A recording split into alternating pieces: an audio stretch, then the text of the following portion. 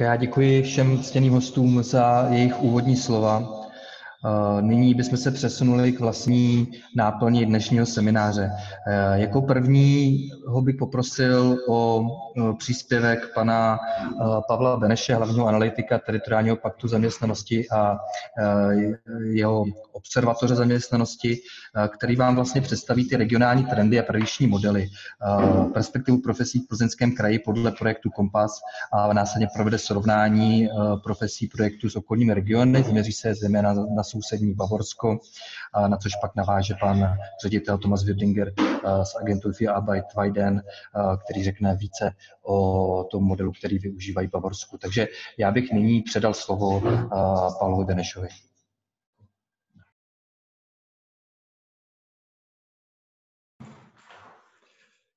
Takže dobrý den, dámy a pánové.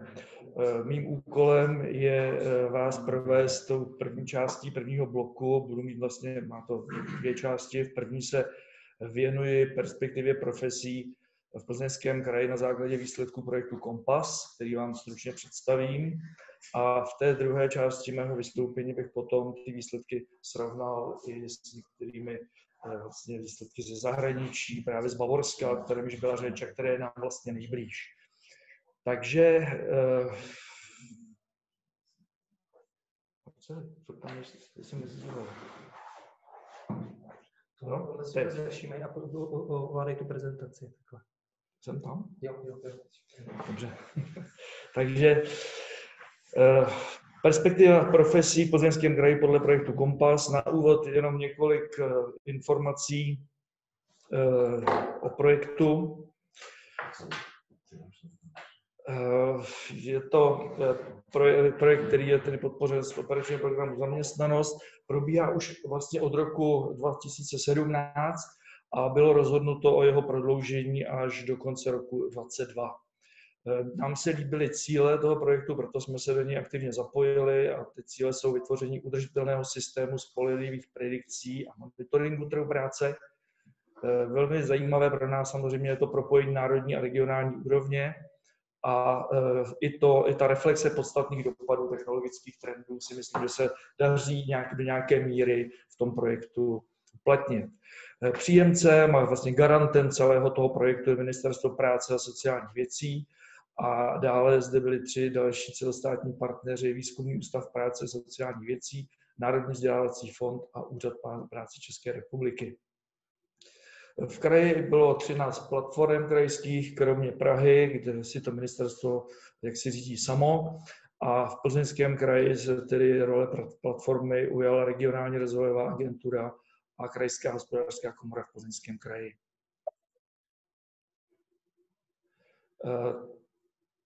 My vám, já vám v tom svém vystoupení představím eh, výsled, poslední výsledky modelu predikce projektu Kompas, tak abyste trošku věděli, co o toho můžete čekat. Tak na úvod několik základních informací. Eh, ten model je postavený na modelu Leon, který se i v zahraničí využil. Eh, ty základní submodely jsou důležité pro to, aby jsme si uvědomili, v jakých souvislostech je vlastně ten model vytvářen, takže důležitým vstupem jsou jednak makroekonomická data a predikce, ekonomické vztahy mezi odvětvími, velmi důležitá věc, kde se sledují toky. A eh, podstatný parametr taky jako základního jednoho ze základních submodelů zahraniční migrace zaměstnanců, zejména v našem kraji, je ten podíl zahraničních pracovníků velmi, velmi významný. Dobře.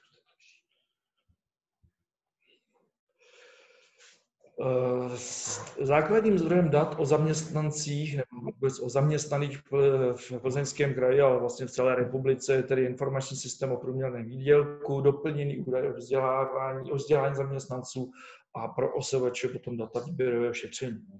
Důležitá je ta podrobnost predikce. Eh, z hlediska odvětví jich je 31, což si myslím, že je velmi zajímavý počet pro které je predikován vývoj, protože zpracovatelský průmysl byl rozdělen do deseti odvětví. Eh, z hlediska povolání tak se podařilo dosáhnout toho, že aspoň v tuto chvíli eh, jsou ty predikce vytvářeny na úrovni, eh, třetí úrovni CZ ISCO, kde je až 130 povolání ale s ohledem na počet zaměstnaných v těch jednotlivých skupinách, těch povolání, tak v Plzeňském kraji tu minimální hranici splňuje zhruba dvě třetiny, znamená přes 80 povolání. Eh, počet skupin podle vzdělání, které je součástí predikce, tak je 45. Eh, podařilo se i nějakým způsobem zohlednit v té predikci ten vývoj z důsledku covidu, to znamená garanti výzkumný ústav práce sociální věcí a Národní vzdělávací fond, tak ve spolupráci ještě s Masarykovou univerzitou a s dalšími partnery, tak se pokusili na základě těch výsledků té jarní vlny Eh, simulovat dopad covidu na zaměstnanost v dalších pěti letech, ale s ohledem na druhou vlnu se dá očekávat, že ještě tady bude docházet samozřejmě ke korekcím. Eh, důležitá věc, a jsem za to moc rád, že se nám podařilo právě tu predikci z letošního roku, kterou jsme obdrželi na začátku června, na přelomu května a června, tak jsme, se nám podařilo provést takzvanou první verifikaci, kdy jsme s vybranými eh, regionálními partnery eh, na konci června vlastně prodiskutovali výsledky predikce a nějakým způsobem jsme se k tomu vyjádřili, to znamená, kde třeba vidíme z, z toho regionálního pohledu nějaké možné odchylky nebo rozdíly. Takže eh, i to jsme udělali. Myslím si, že to je velmi důležitý krok pro to, aby, ta, aby ta výsledek predikce vlastně měl skutečně váhu. A teď už bych tedy přistoupil k tomu, co vlastně ta predikce říká. Jak jsem řekl, je tam, celkem jsme mohli uvažovat zhruba o 80, 80 profesích nebo skupinách profesí. Myslím si ale, že na, tom, na té třetí úrovni už jsou to velmi názorné profese, jak vidíte třeba i na tom prvním grafu. Já jsem si připravil takových pět grafů, eh, čtyři grafy po pěti povoláních, kde bych chtěl ukázat ty trendy u těch početně silnějších skupin, které zároveň se vyznačují většinou nějakým výraznějším trendem v těch dalších pěti letech. Horizont té predikce projektu Kompas je zatím pětiletá, to znamená, pokud vycházíme z roku 19, tak je to do roku 24.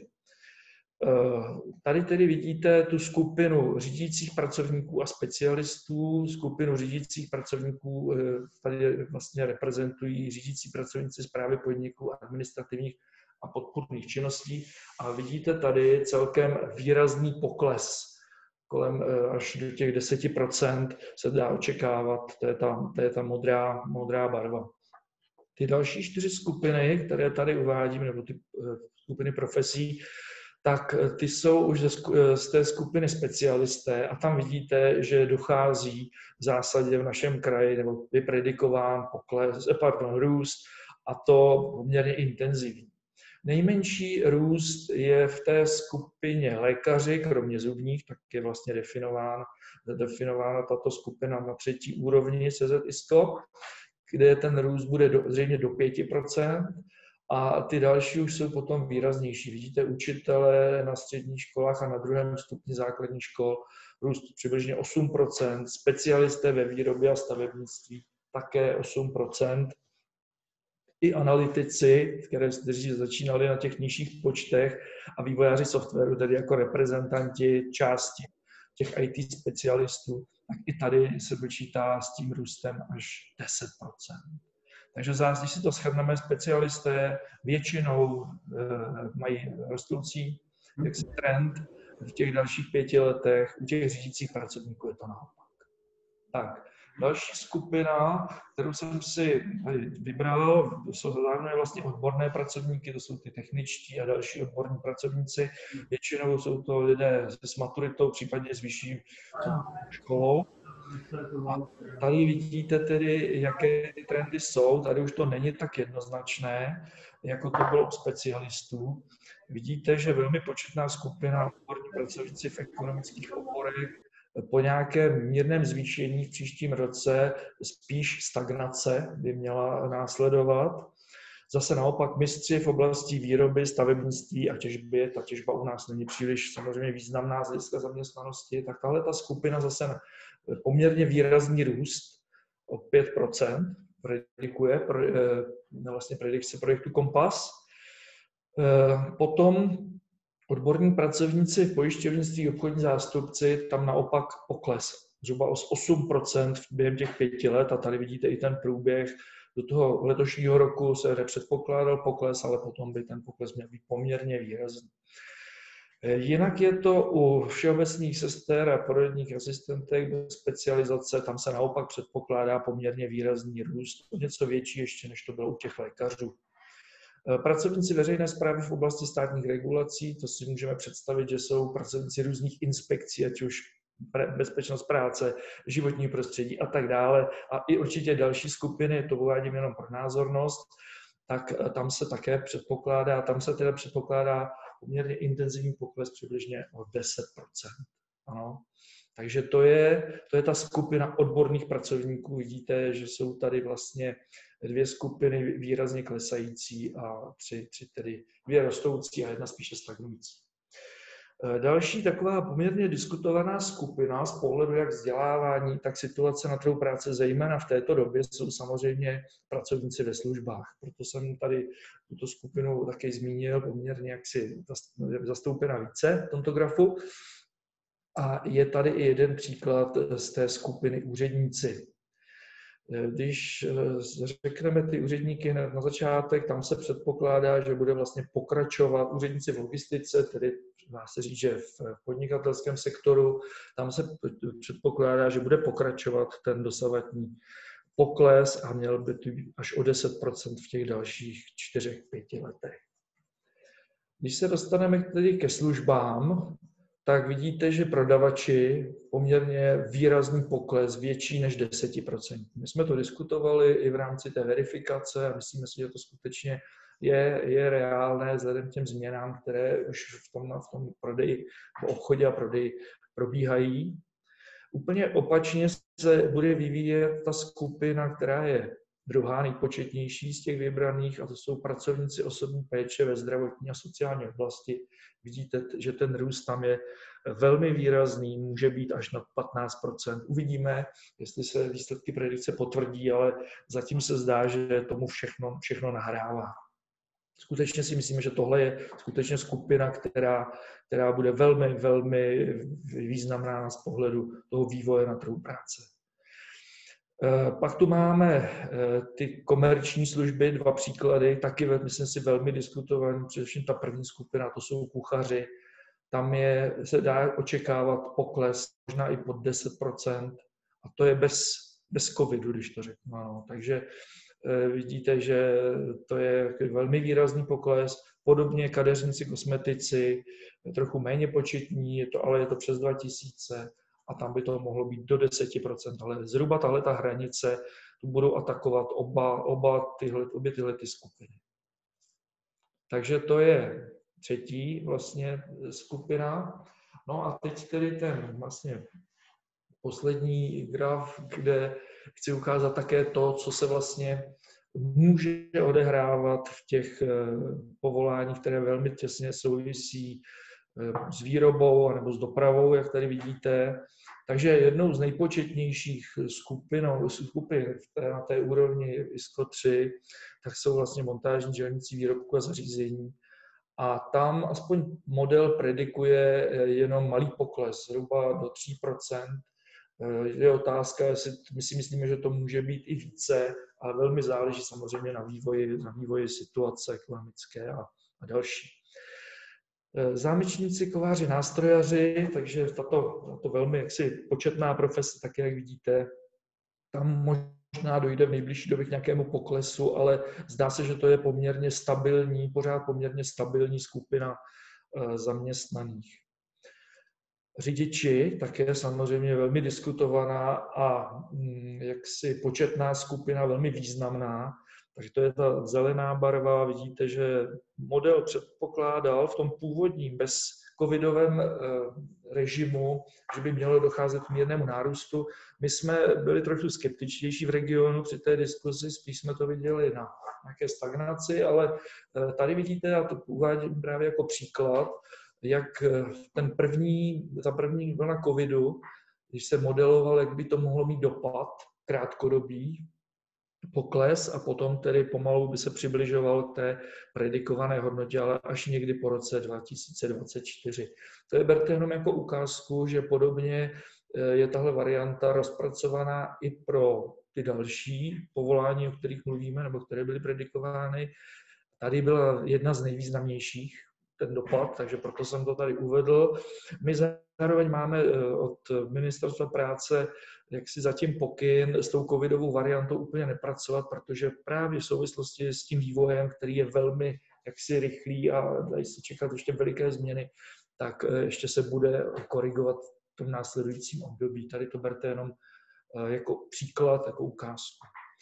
Řemeslníci, kvalifikovaní pracovníci v hlavní stavební výrobě, jenom mírný pokles se předpokládá eh, a věc, kterou jsem tady musel uvést vlastně na závěr, a to je to, s čím se trošku setkáváme při tom predikování v rámci toho eh, našeho projektu, a to jsou montéři, mechanici, opraváři elektrických zařízení jako reprezentant vlastně elektrotechnického průmyslu, který se zdá, že by mohl v tom následujícím období eh, nějaká, nějaké korekci zaměstnanosti by tam mohlo docházet. Třeba tahle ta skupina která tam patřila velmi početný, že jo, 5000, eh, někdy ještě v roce 15, tak tam se eh, očekává poměrně eh, silný pokles. My si myslíme, že nebude tak silný, jako zatím vychází z toho modelu. A právě ta debata o tom, jak se to může skutečně vyvíjet, to je naše role a rádi bychom ji s vámi jako s partnery paktu samozřejmě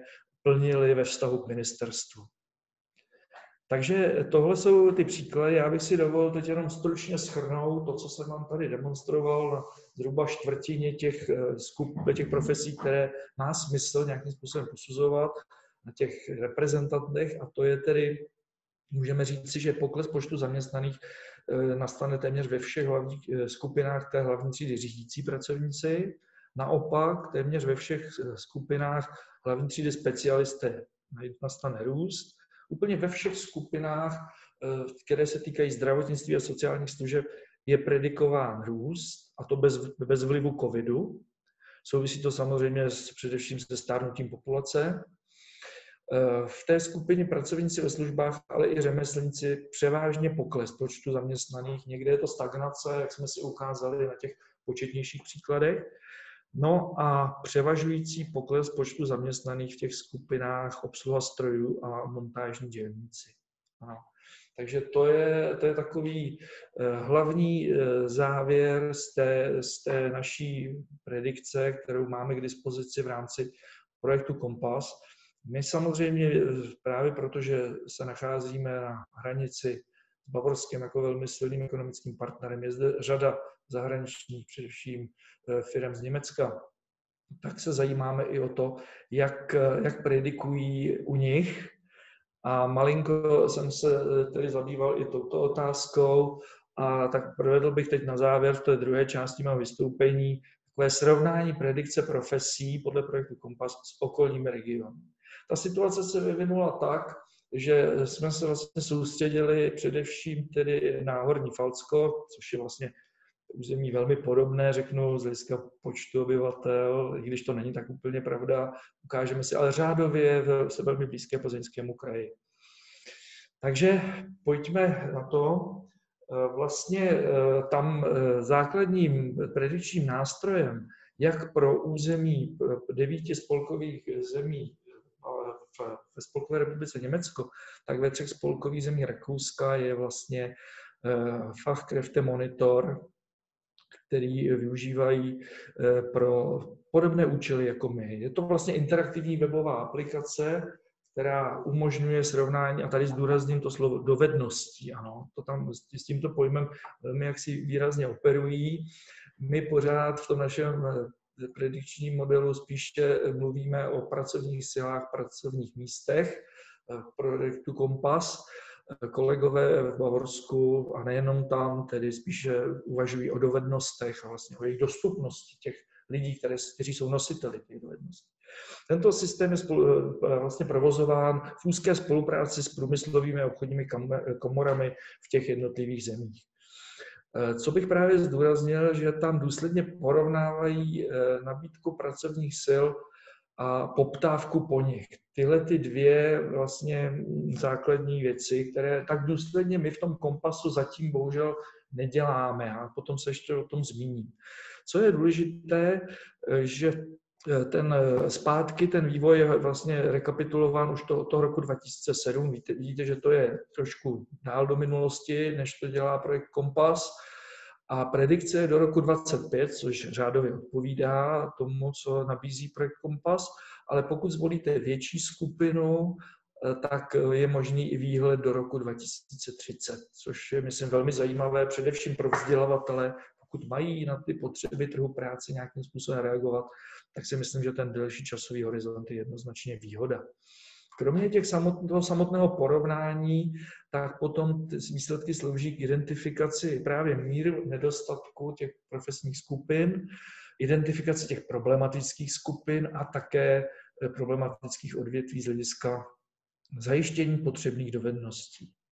Eh, je tam nastaven takový systém vyhledávání, eh, jednak podle profesí, kde jsou různá zobecnění, podle Eh, dovedností, které tady reprezentují v zásadě stupně formálního vzdělávání podobně jako u nás, když bych to měl srovnat. Potom podle odvětví, ale také to není tak úplně v souladu s tím, co nabízí projekt Kompas, a potom podle území do úrovně krajů zase podobně jako projekt Kompas, takže tady jsou takové ty, ty styčné, vlastně styčná místa. Při malé nabídce, nebo když je ta skupina malá profesní, tak je třeba k ní přibrat další vlastně skupinu nebo nadřazenou skupinu, je nutná nějaká agregace, tak abyste se k těm výsledkům dostali. Takže to je vlastně takhle nějak bych charakterizoval ten samotný eh, vlastně fakt monitor. Já bych ještě eh, to, z hlediska toho srovnání, tak právě už jsem to zmiňoval. Porovnání nabídky pracovníci a poptávky po nich my v podstatě v tom kompasu teď predikujeme jen zaměstnání, jak se předpokládá, jaká bude zaměstnanost v těch jednotlivých profesích. Eh, jsou tam, eh, fakt Krefte Monitor má jednotné prostředí, ale jsou tam rozdíly právě mezi zeměmi z pohledu vlastně možností výběru, jak jsou nastaveny ty skupiny, třeba ty profesní. Například v Rakousku to právě mě trošku odradilo potom pracovat s těmi údaji, Eh, tak tam byla velká skupina právě strojírenství, elektrotechnika, stavebnictví, obchod, prostě velká skupina. Eh, naštěstí v Bavorsku, naši bavorští eh, partneři, tak to mají člení velmi, jaksi, nebo daleko jemněji a odpovídá to víc tomu našemu přístupu. Někdy ale to spíš odpovídá našim vzdělanostním klastrům. Jak jsem už zmiňoval, kromě tak ten kompas pracuje i se vzdělanostními klastry, které mají velmi úzký, úzký vztah právě na to, co je třeba nebo jak by mělo reagovat vzdělávání, vzdělávací systém. Podstatná věc, na kterou jsem vlastně narazil, a to bylo, že vinou koronaviru některá území aktuálně nepublikují a jsou to právě horní Rakousy. To byl ten poslední důvod, proč jsem od toho Rakouska nakonec ustoupil a v tom svém srovnání se soustředí tedy na Horní Falcko. Pojďme si říct trochu k tomu Hornímu Falcku, jenom takových pár základních informací. Já jsem moc rád, že po mně bude mluvit eh, pan ředitel úřadu práce z Vajdenu, který vám ještě k tomu systému řekne víc, to, tomu jeho pozadí. Já jenom to, co mě vlastně upoutalo, nebo co považuji za důležité z našeho pohledu, v Horním Falcku používají 35 skupin dovedností nebo profesí, nebo jak chcete, pro čtyři úrovně vzdělání, s tím, že některé, jak jsem říkal, je třeba agregovat, protože jsou to menší skupiny. Vidíte, že to členění je velmi jemné a podobné tomu našemu. Z hlediska srovnání těch dvou území, tady je snad jediný údaj, v, Horní Falcku je přeci jenom populačně větší, ten počet pracovních sil přibližně půl milionu, u nás 300 tisíc. Eh, I z hlediska trendů, pokud, bychom si, pokud se budeme a budeme se spolu dívat na trendy, tak je dobré si uvědomit takovéto pozadí, protože v Plzeňském kraji se předpokládá, že mezi těmi roky 2019 a 2024 dojde k poklesu počtu zaměstnaných přibližně o 3% V Horní Falci se ten pokles předpokládá větší, a to jak z pohledu počtu pracovních sil, nebo chcete ano, to třeba o 6% a hlediska pracovních míst přibližně o 10 ano. Takže to jsou takové ty základní údaje, abyste trošku vnímali to porovnání, které na následujících slajdech eh, vám přiblížím.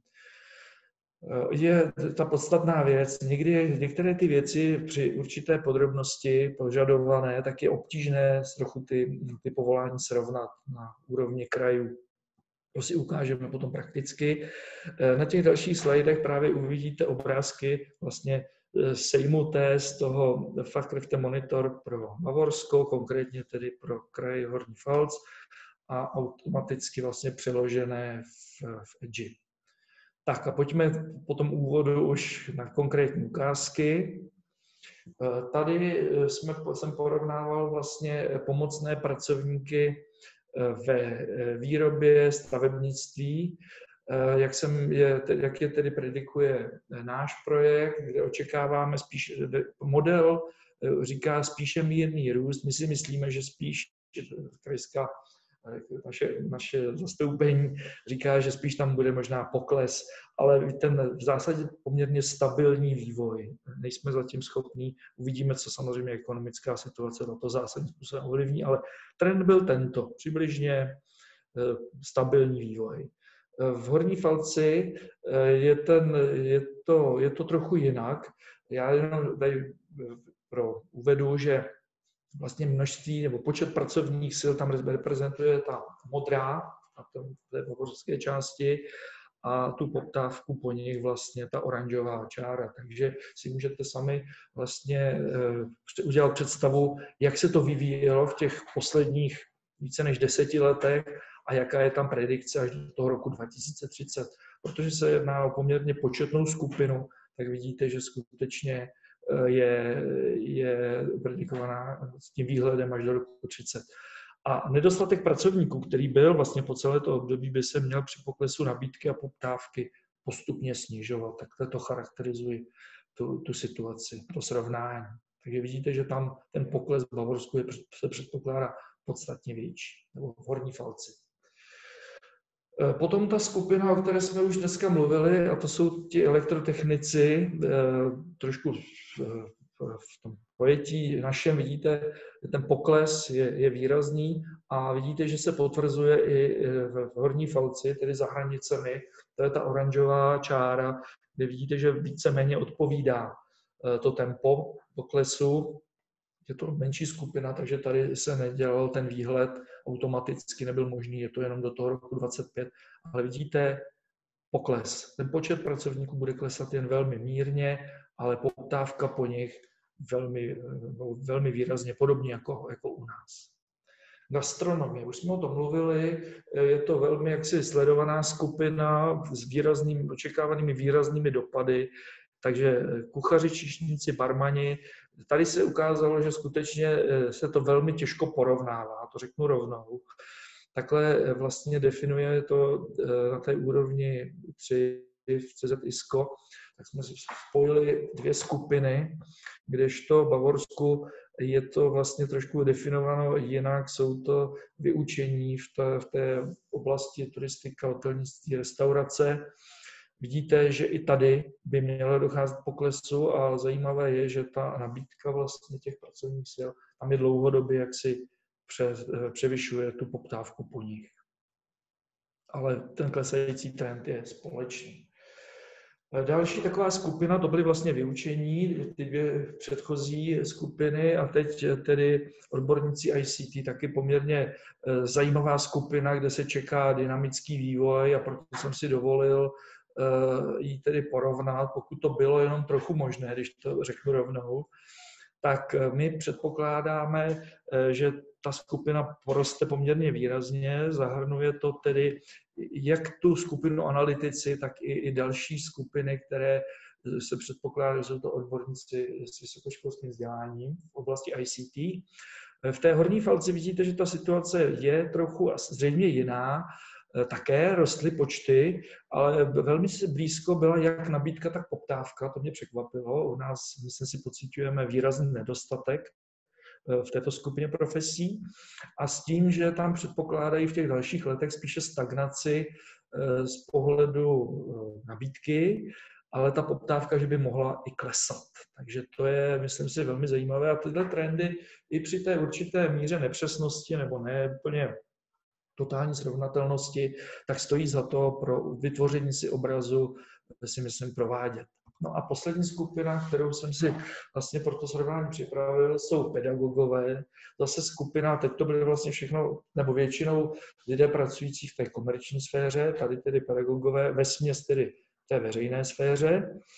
Eh, myslím si, že je zajímavé eh, říci, že zatímco u nás jsem spojoval skupiny učitelů podle toho, koho učí, v jakých stupních, to znamená, jsou to vlastně od mateřských škol až po Ehm, ehm, odborné, učitelé odborných předmětů na středních školách i vysokoškolští pedagogové, tak eh, v té bavorské, na té, v té horní falci, tak vidíte, že, se, že tam je trošku i širší, širší záběr, tak jak je definovaná ta skupina, ale je to definováno z pohledu vlastně, zahrnuje to všechny skupiny vzdělání pedagogů na té bavorské straně.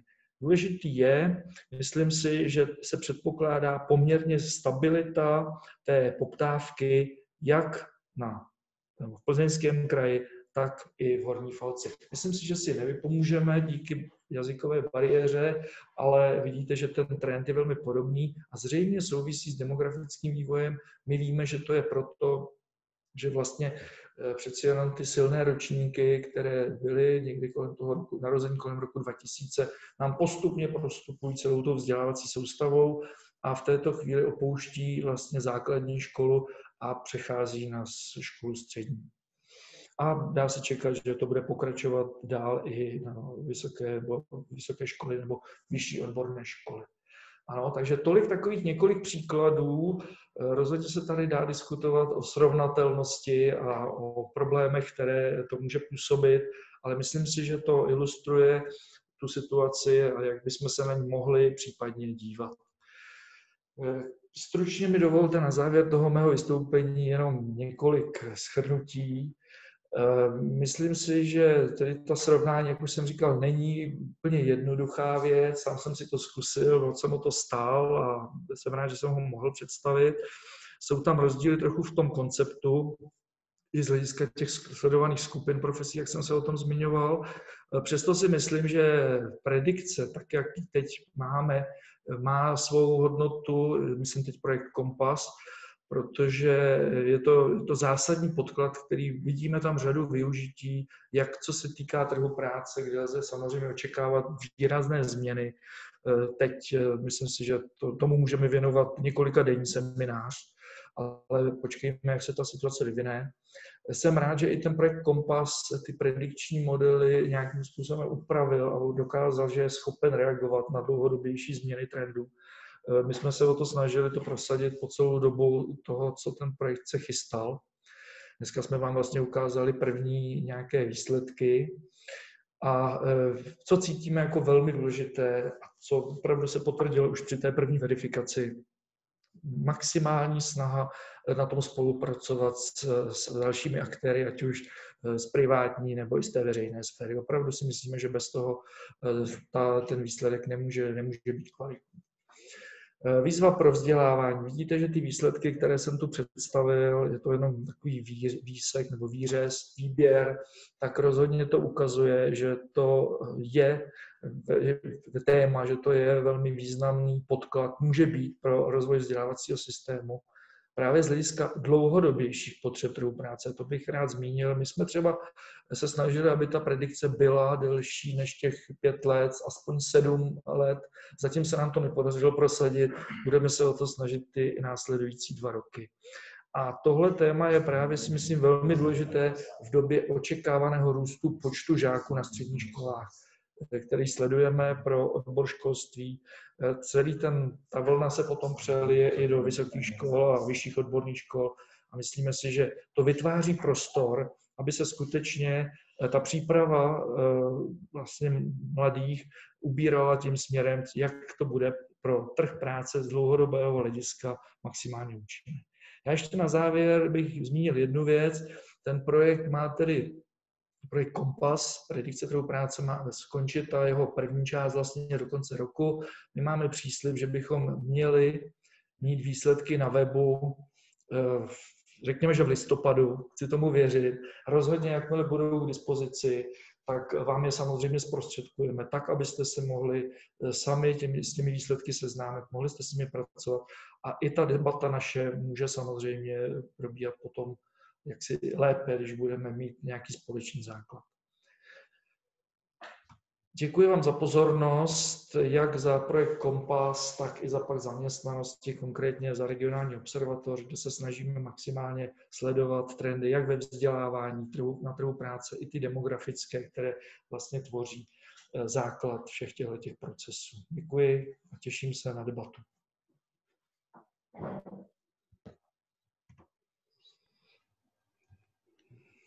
Já děkuji panu Benešovi za jeho příspěvek. Poprosím Pavle, jestli to slíme. Uh, tak, uh, děkuji za jeho příspěvek. Já připomenu, že dotazy budeme uh, zodpovídat vlastně po konci každého bloku, takže nyní, nyní než předám slovo panu řediteli Werdingerovi, uh, tak ještě rád bych zopakoval nějaké základní technické informace. Máme zde k dispozici tlumočení. Vy vlastně v té liště napravo můžete si zvolit německý jazyk anebo český jazyk. Český jazyk se schovává tedy pod vléčkou angličtina. Uh, dotazy může můžete průběžně pokládat vlastně do chatu eh, nebo eh, pod tou ikonkou participants, tak můžete vlastně eh, využít ručičku a můžete se hlásit a my vás vlastně po konci toho bloku vám udělíme slovo v rámci diskuze. Takže eh, tolik jenom eh, nějaká zase organizační technická informace a nyní jsem velice také bych rád vyjádřil, eh, vyjádřil radost, že máme zde pana Tomase Werdingera, ředitele úřadu práce v bavorském Weidenu a já bych mu předal slovo, aby nám řekl víc o tom bavorském predikčním modelu, jak ho využívají.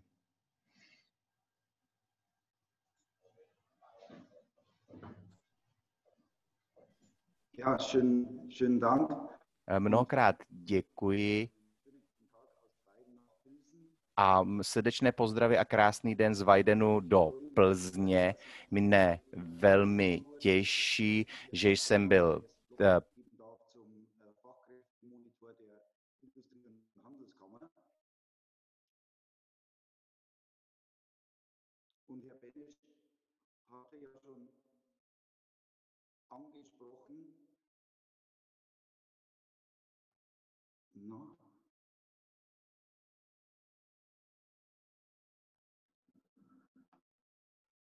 Jetzt, ich bin noch an der Technik, verzeihen Sie es mir.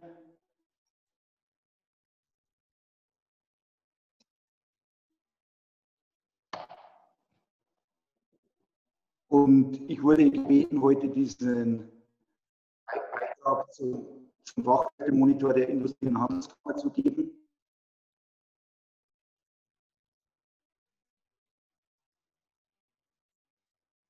Und Herr Benesch ja schon angesprochen, der Fachkräftemonitor der IHK. Už tady zmiň, zmiňoval monitor uh, o pracovních sil. Beinhaltet, Moment, beinhaltet zwei Slyšíte mě? Slyšíme. Slyší, a já bohužel zase neslyším pana Wirdingera, respektive strašně špatně. Herr Wendiger? Ja. Äh, ich höre Sie leider, leider Gottes ganz schlecht.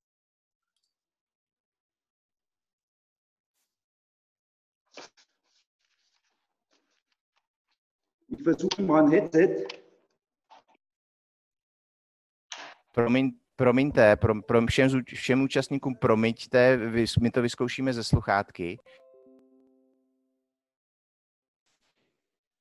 Jetzt viel besser. Schön. Schön.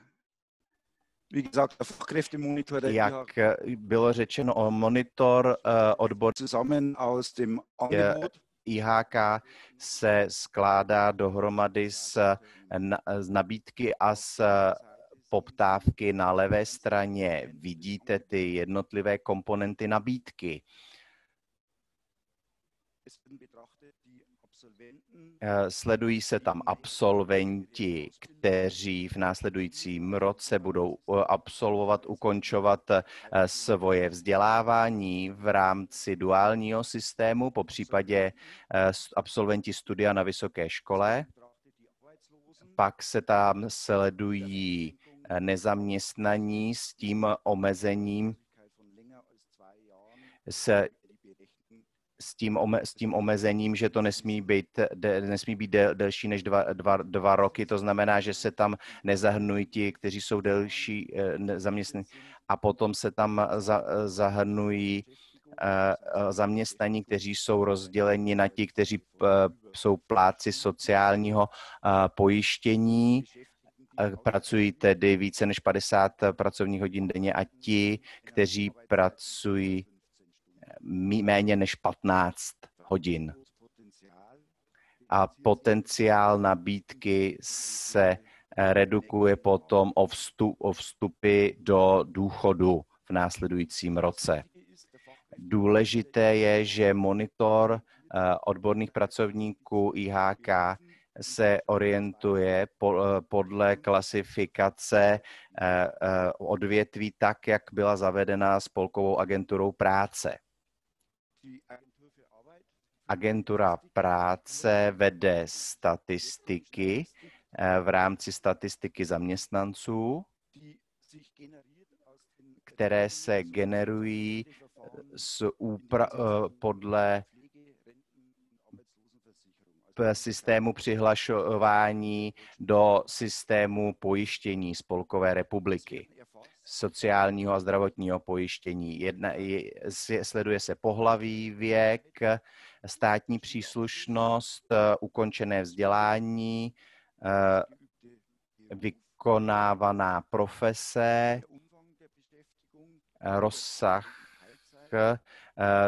rozsah zaměstnání, to znamená na plný nebo na částečný úva, úvazek s, sleduje se, pokud se jedná o zapůjčení zaměstnanců, v jakém odvětví pracuje ten zaměstnanec, kde je jeho bydliště a kde je jeho místo, místo zaměstnání. Celé to se provádí diferencovaně. Tady vidíme hlavní skupinu, ve, která je označena jako povolání v zemědělství, v chovu a v eh, lesnictví. A těchto skupin máme celkem 38 a pod nimi jsou potom jednotlivé skupiny profesí. Zde tady například eh, tady země, zemědělství, chov eh, zvířat a tady, tady vidíme celkem jednotlivé podskupiny napří, na, na, například eh, o profese v zemědělské technice. Eh, při jiném zobrazení také vidíme rozčlenění podle jednotlivých eh, mo- modelů.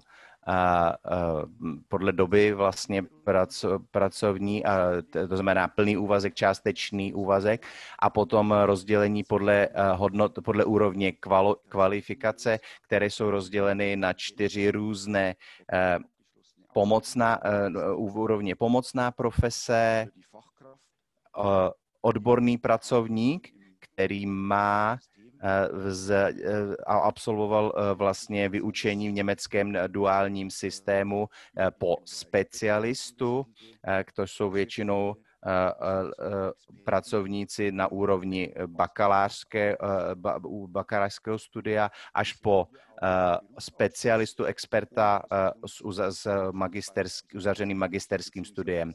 A potom je vlastně ukončené Eh, ukončené eh, studium od počí, počínaje vyučením až po akademické vzdělání.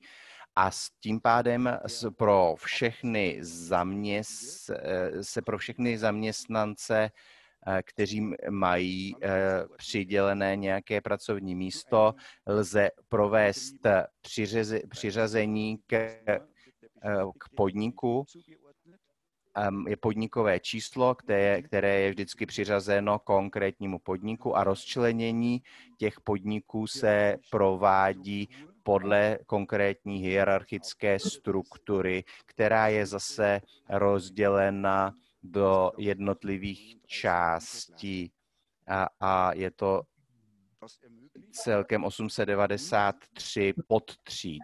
A tohle to nám umožňuje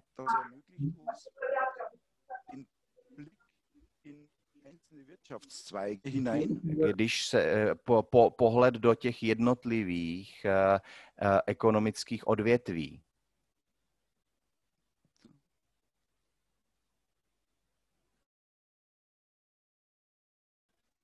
Sie hören mich, das ist schön, schön. Ich war mir jetzt etwas unsicher. Das ermöglicht uns. Tohle nám umožňuje tedy, jak bylo řečeno, ve finále rozčlenění podniků eh, k velmi podrobným způsobem a můžeme sledovat eh, vývoj zaměstnanosti a simulovat vývoj zaměstnanosti například eh, v zemědělství, kdy ten zemědělec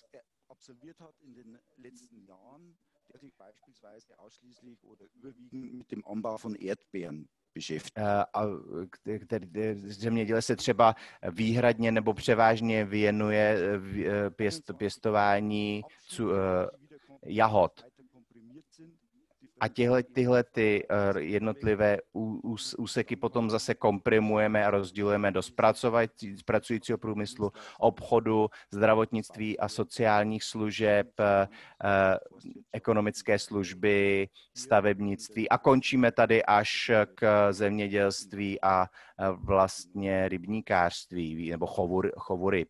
Tohle to je tedy ten způsob diferenciace, který provádíme u nás v Horní Falci monitor odborných pracovníků ten staví proti té eh, nabídce, která eh, byla právě popsána, poptávku následujících let. Přičemž je tady stejný základ v podobě eh, stávajících nebo aktuálních zaměstnanců nepokrytá eh, poptávka je v podstatě suma eh, demokraticky podmíněné potřeby náhrady a, k, k, k konjunkturálně a strukturálně podmíněné potřebě. A tady eh, vlastně jsou, souhlasím s panem Benešem, který tvr, říkal, že je důležité dělat eh, predikce, i když víme, že ty predikce jsou vždy spojeny s nejistoty. My se třikrát nebo IHK třikrát ročně dotazuje své členské podniky se na předpokládaný vývoj. A my jsme vlastně momentálně na konci roku 2030, co se našich prognózí týče. To, ty prognózy probíhají velmi eh, podrobně a máme k dispozici data o zaměstnanců, o zaměstnancích a zároveň data o vývoji odvětví. To znamená, že dostáváme velmi podrobné údaje o jednotlivých oblastech, jak se bude vyvíjet eh, poptávka, jak se bude vyvíjet eh, nabídka a co s tím dělá eh, potom co s tím dělají potom jednotliví účastníci, především agentura práce. To bych vám, o tom bych vám něco řekl v druhé části našeho bloku. Teď bych vám chtěl poděkovat za vaši pozornost.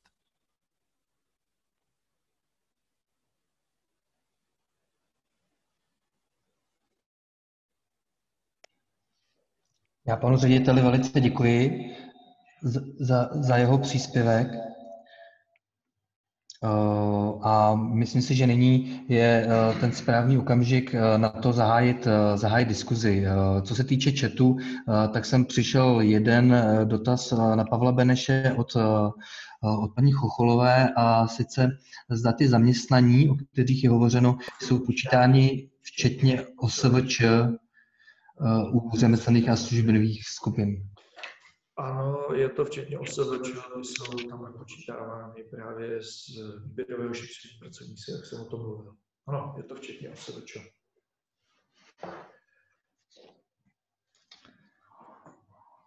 Děkuji, eh, děkuji za odpověď. Eh, nyní zeptám se, já tady nevidím žádné, žádné další dotazy. Eh, nejsou, nejsou žádné k, této první, k tomuto prvnímu bloku?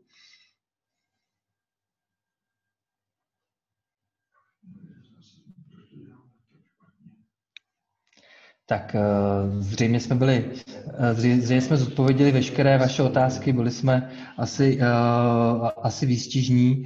Eh, paní, paní Brabcová má, má, jedno, eh, má jeden, jeden dotaz a sice, eh, co je důvodem poklesu zájmu o služby v opravářenství?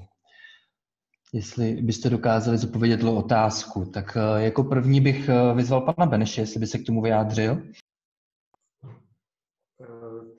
Úplně nevím přesně skupinu opravárenství služby, o služby obecně. Služby jsou asi, eh, jako sledujeme to dlouhodobě, já si myslím, že těžko, těžko říct, u toho, u těch, eh, u toho prodej, u těch prodavačů, to je taková větší skupina, kterou jsem zmiňoval, tam je to asi jasný, úplně se mění charakter, charakter prodeje. Samozřejmě je otázka, proč je to třeba i u kadeřníků a to se se ptá hlavně na montéry mechaniky. Montéry mechaniky, elektrotechnický zařízení, jak tam bylo.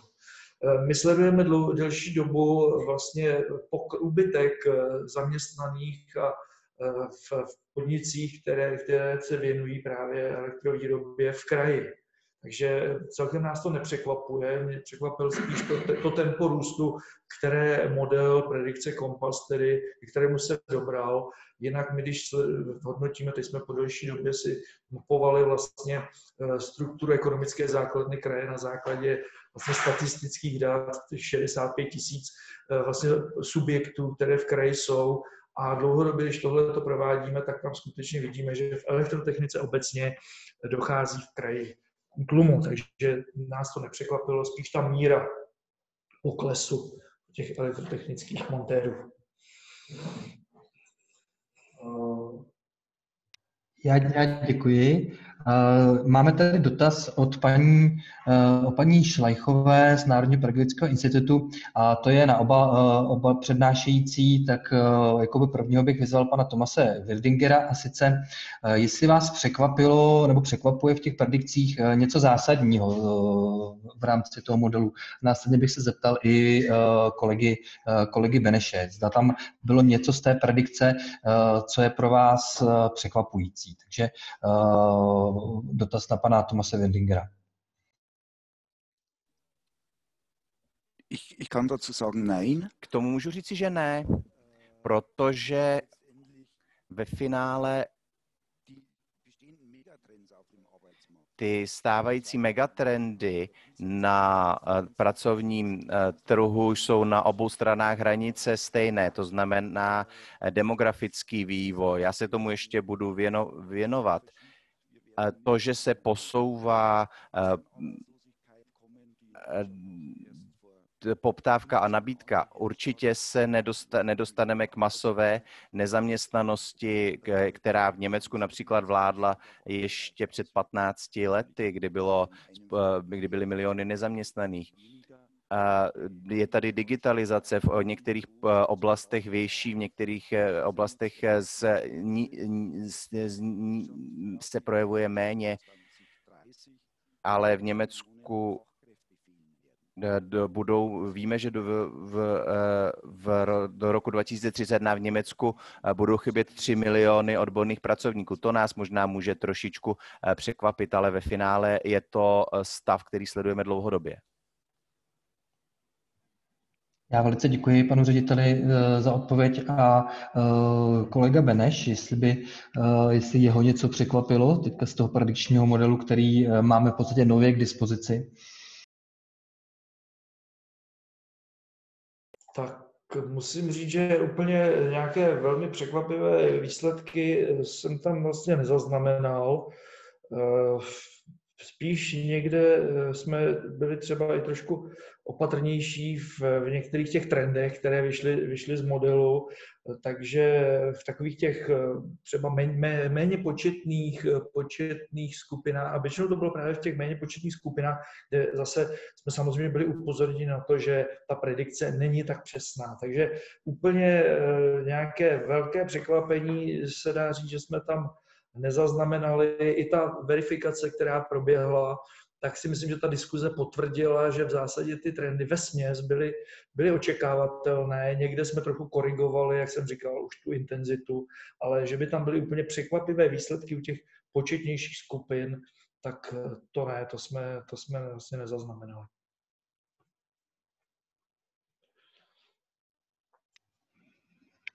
Dobře, eh, já, já děkuji.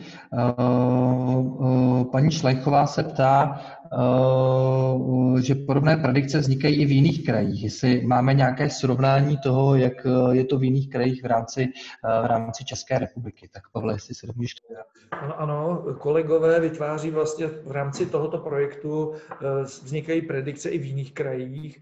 A já si beru za domácí úkol, který bych chtěl určitě na nějakém dalším setkání k tomuhle tématu, eh, tak eh, vlastně zmapovat hlavně ty okolní kraje, kde samozřejmě k nějakým, nějakým přesahům dochází, to znamená hlavně jeho český kraj, ale především středočeský kraj, eh, tak jaké trendy mají tam. My máme informace samozřejmě i z těch ostatních krajů v rámci republiky, také jako souhrn, takže vyhodnotit i, i tyhle souvislosti, tak na to se chystáme.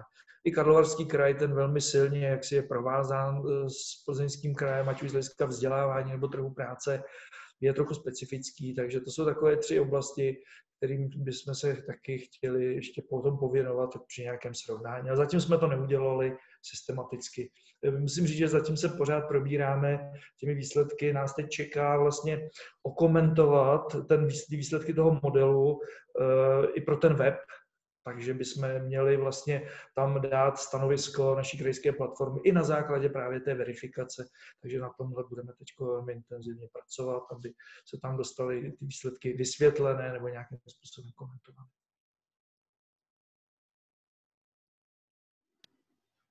Já děkuji kolegovi. Eh, žádné další otázky v tuto chvíli nevidím, eh, takže eh, já bych vás chtěl vyzvat pokud vás ještě něco napadne, tak teďka vlastně zahájíme asi ten druhý blok, protože jsme v malém, v malém, v malém skluzu, nebo dáme malou technickou pauzu asi Dobře, takže kolega říká, že ano, takže dáme malinkou technickou pauzu a sejdeme se, sejdeme se v 11 hodin na tu druhou polovinu. Takže pokud ještě eh, můžete mezi tím přemýšlet o nějakých dalších dotazech, v té druhé polovině se podíváme spíš na ty globální trendy a podíváme se vlastně na ty predikční modely, z hlediska jejich aktuálního využití a e, z hlediska i nějakých nástrojů, které vlastně umožňují na ty změny, které ty predikce ukazují, e, které umožní vlastně nějak na ně, na ně, na ně reagovat. Já bych se podíval spíše na ty predikce ne z hlediska té kvantity, ale spíše z hlediska toho té náplně eh, těch profesí, protože ty změny eh, se týkají vlastně i vnitřku těch profesí a oborů. Takže eh, tolik pro tento první blok. Můžete si odskočit občerstvit se, bohužel virtuálně ještě podávat občerstvení nezvládáme, takže je to, je to na vás a sejdeme se v 11 hodin. Takže zatím se od nás loučím.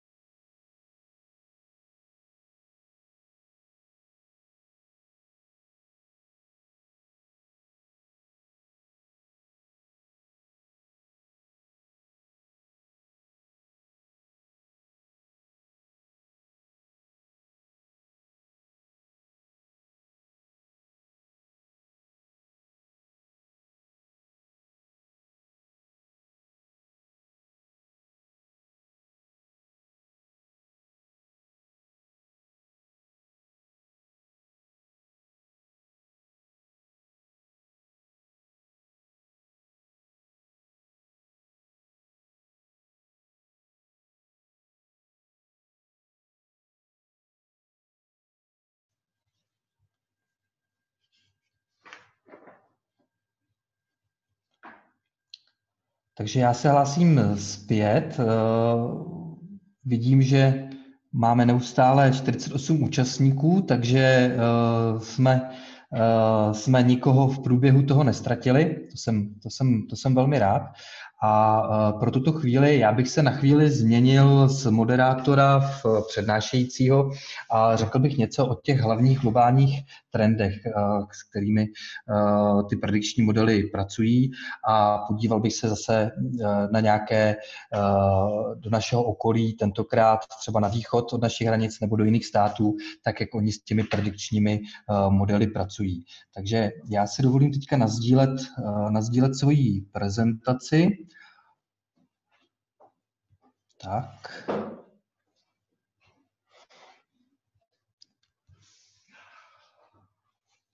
A dám prezentace od začátku.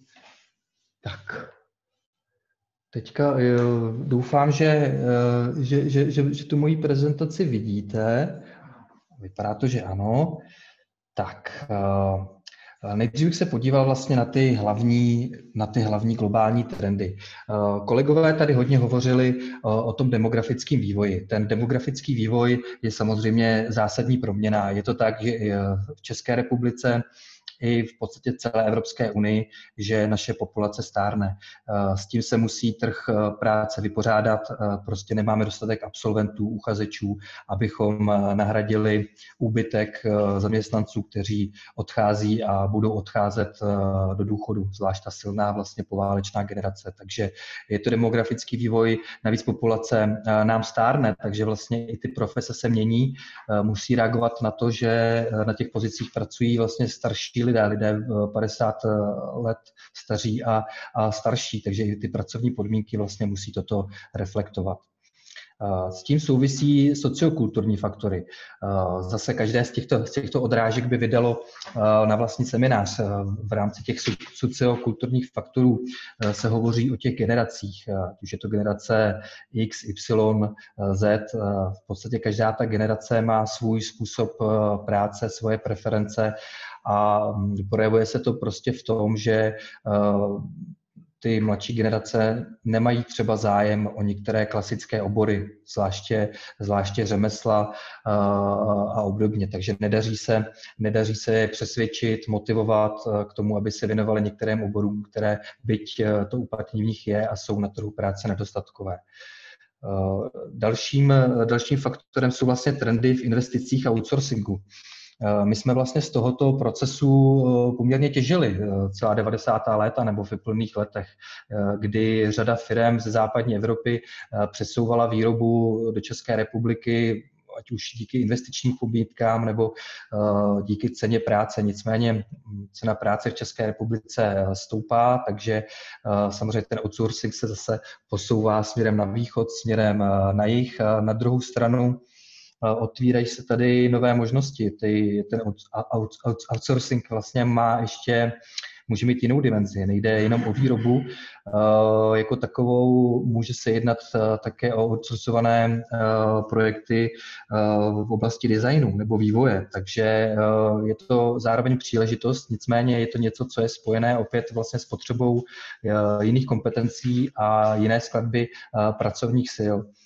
To souvisí vlastně s tím posunem ve významu části hodnotového řetězce. Já jsem si zde dovolil, dovolil nakopírovat tu takzvanou usměvavou křiv, křivku přidané hodnoty, kterou používá pan profesor Zelený, kde je vidět, jak se vlastně změnila ta situace oproti minulosti.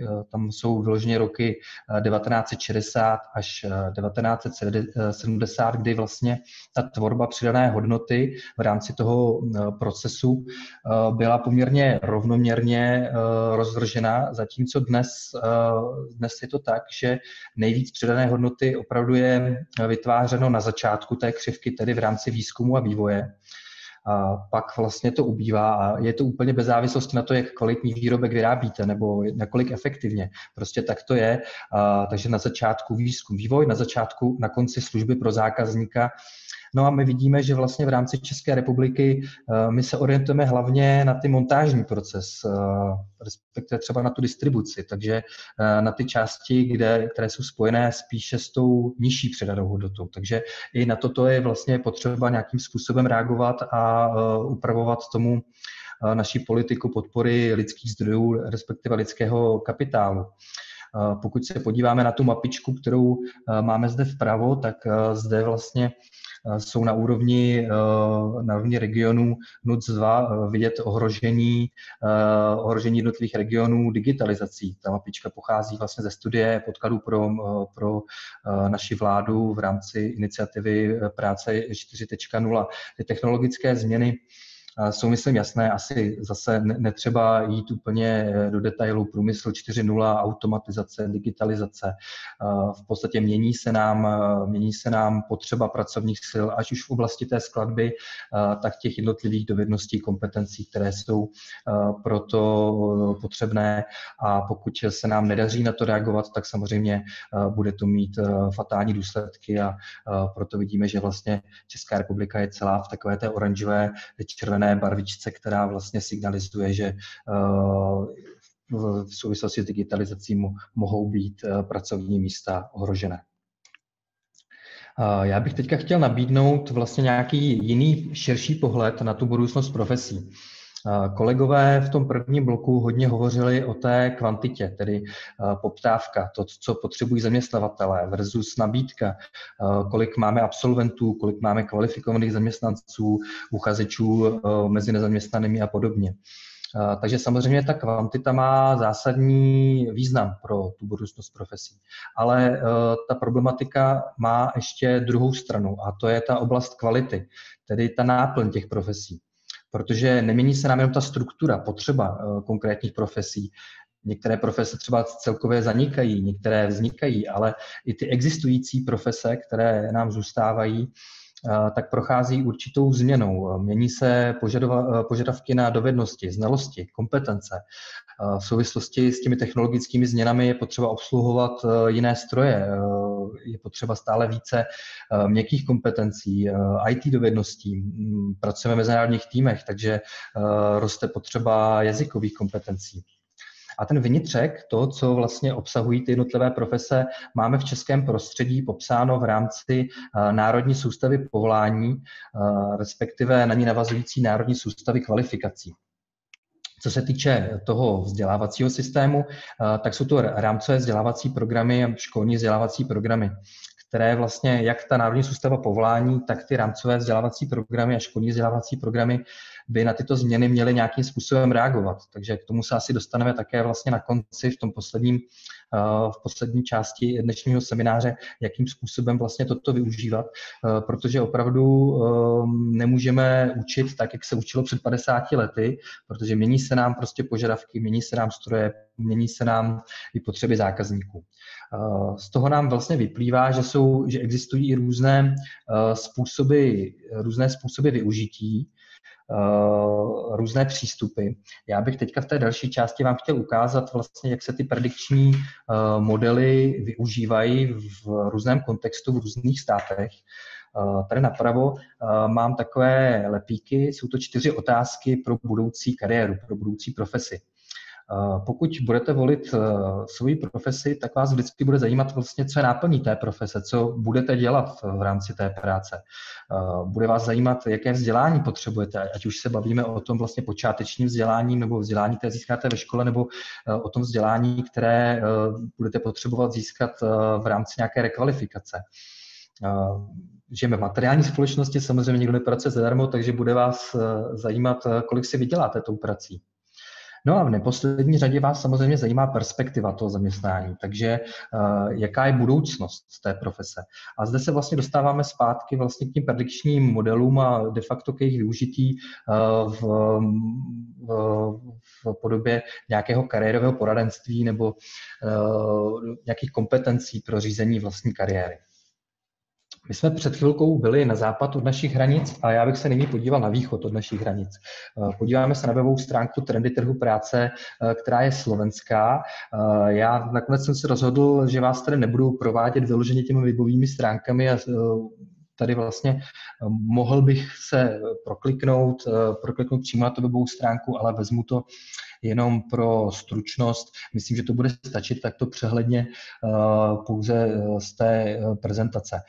Tato webová stránka vlastně pochází nebo vychází z podobného modelu, který představil kolega Beneš v rámci projektu Kompas, takže ty trendy trhu práce jsou tam popsány, jsou zde popsány potřeby trhu práce, potřeby trhu práce v odvětvích a zaměstnáních, i nesoulad na trhu práce, takže nějaká ta nabídka a poptávka a jejich střed.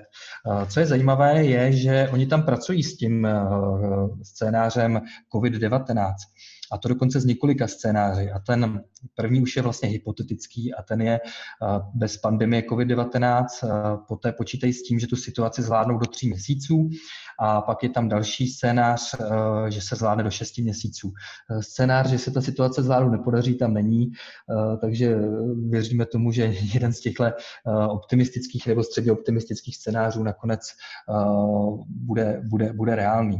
Takže oni nahlíží vlastně na ty trendy na trhu práce práce z pohledu eh, z pohledu trhu práce, ale i z pohledu vzdělávání. Takže eh, můžete se podívat jako absolvent eh, nebo jako uchazeč nebo člověk, který se rozhoduje o svém budoucím profesním směřování volby školy, jaké je uplatnění absolventů zaměstnání. Oni se tam věnují obsáhle například souladu vystudovaného oboru a následně vykonávaného zaměstnání. Je tam opět odpověď na tu otázku, kolik si vydělá, takže mzda absolventů jednotlivých oborů. A mají tam popsáno vlastně i nezaměstnanost absolventů u jednotlivých oborů. oborů. U obou těchto pohledů se můžeme, máme k dispozici vlastně data, které jsou celostátní pak regionální za jednotlivé slovenské kraje, ale pak si tam můžete vlastně namodelovat vlastně i moje trendy. V rámci těch trendů z pohledu vzdělávání nebo z pohledu trhu práce se můžete podívat vlastně na perspektivu toho svého, toho svého zvoleného oboru vzdělání nebo, nebo profese, o které uvažujete a zároveň vlastně tam najdete informace o tom, kolik lidí nachází uplatnění a jaká je průměrná mzda v této profesi, respektive v tomhle oboru. Eh, jeden z nejrychleji rostoucích oborů nebo, eh, nebo oborů eh, zaměstnání, o kterém tady hovořil kolega Beneš, tak byl vlastně vývojář softwaru, takže já jsem se tady v těch dalších, že se to snadno srovnává v těch dalších modelech, jsem využil vlastně tuhle tu profesi.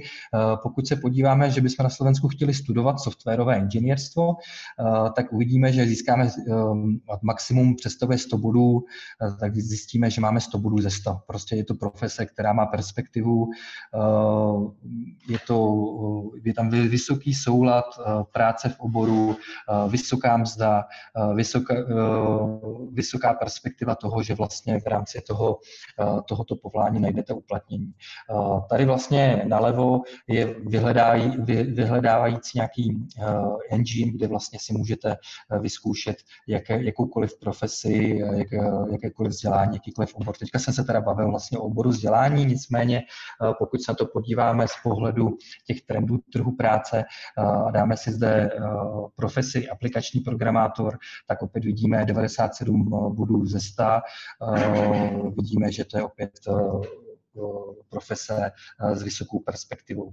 Takže tady vidíme, že oni opravdu ten predikční model spojili s dalšími informacemi, udělali nějakou komplexní stránku, která je využitelná pro to, abyste získali abyste získali komplexní představu o tom, jaká je perspektiva toho zaměstnání eh, nebo toho oboru a jaké jsou podmínky v tomto oboru. Takže eh, kolegové vlastně nás tomhle tom trošičku přeběhli, řekl bych, eh, o pár let. Doufejme, že se nám je podaří dohnat, předehnat že třeba se nám podaří pracovat se i nějaké ještě lepší aplikaci.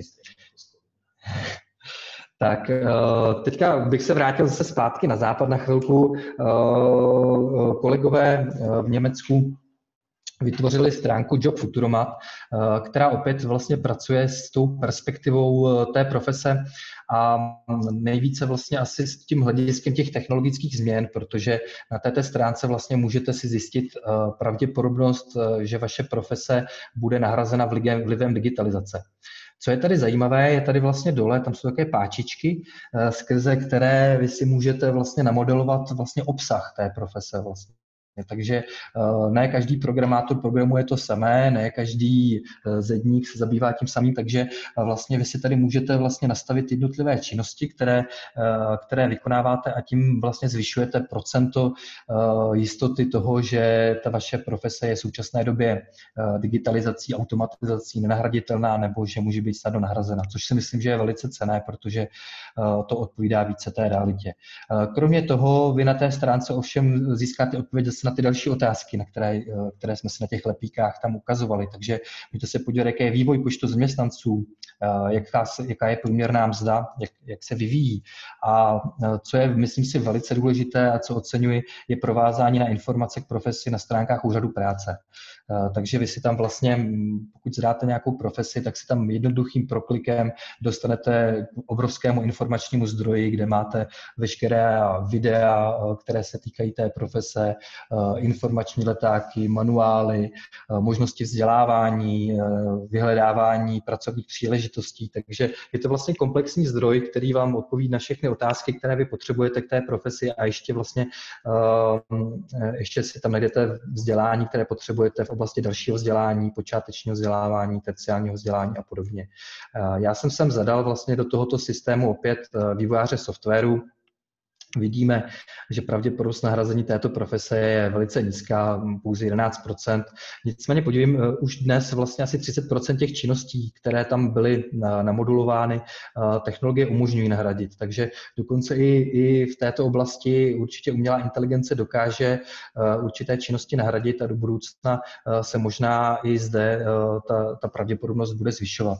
Zase vidíme zde nějakou průměrnou vzdu, jak se vyvíjí, jak se vyvíjí počet eh, zaměstnaných v tomto, eh, v tomto oboru a je zřejmé, že se jedná o vzdělání eh, velice perspektivní. Tady dole, ta lištička, tu jsem tam převzal vlastně z toho úřadu práce, kde vlastně konkrétně se můžete podívat na všechno, co jsem říkal, na ty, můžete si udělat nějaké testy, podívat se na videa spojené s tou profesí, ale podívat se i dovnitřku na ty konkrétní kompetence a dovednosti. A tady bych chtěl říci, že tyhle ty stránky, které, na které se nyní zaměřím, nebo většina jich, Eh, většina jich, eh, eh, které, s kterými pracujeme, opravdu více pracují s těmi kompetencemi a dovednostmi, protože nevyvíjí se jenom profese jako taková, ale, jak jsem řekl, i ta náplň. Takže je dobré vědět, jaké konkrétní úkoly bude potřeba v rámci té profese vykonávat a to všechno vlastně na této stránce můžete zjistit. Takže myslím si, že tady kolegové jsou zase ještě o krok dál, než, než rozhodně než my a i než, i než ty Slováci, takže myslím, že určitě uh, velice cený a uh, užitečný informační, informační zdroj pro různé skupiny, ať už jsou to studenti, žáci, uchazeči o zaměstnání, ale i zaměstnavatele, kteří vlastně uh, tady mohou vlastně vidět uh, náplň těch, uh, té profese a možnosti, které jim vlastně nabízí instituce trhu práce. Eh, podobná stránka, eh, přístup kolegů ve Spojených státech amerických, velice podobné funkcionality jako, jako ten Job Futuromat, takže eh, já to přeskočím, pouze zmíním, že zde je zajímavé, že vlastně ty uživatelé mohou volit, můžu si vyjadřovat k tomu, nakolik reálné typ ta predikce je a tím pádem se podílet na verifikaci toho modelu. Velice zajímavá stránka opět kolegové v Rakousku, Kariérní kompas, je to komplexní stránka, eh, která vlastně nabízí informace o trhu práce, eh, o jednotlivých profesích, oborech vzdělávání, možnosti vzdělání eh, i pracovního uplatnění, a je zde zase opět eh, velice podrobně eh, věnována pozornost vlastně tím jednotlivým kompetencím a náplním, náplní té profese. Eh, jsou zde zajímavé testy, jsou zde zmíněny vlastně nějaké trendy, předpovědi a všechno je to provázáno v nějaký určitý komplex, který vlastně ten uživatel může využít. Já možná přece jenom neodolám a kliknu na to, uvidíme, co se stane zda, uh, zda vám tam vlastně naskočí, naskočí ta sdílená stránka taktéž, nebo já si ji zkusím, já si zkusím, já si zkusím uh, nazdílet. Tak. Nezobrazuje se asi, že? Tak já zkusím nové sdílení a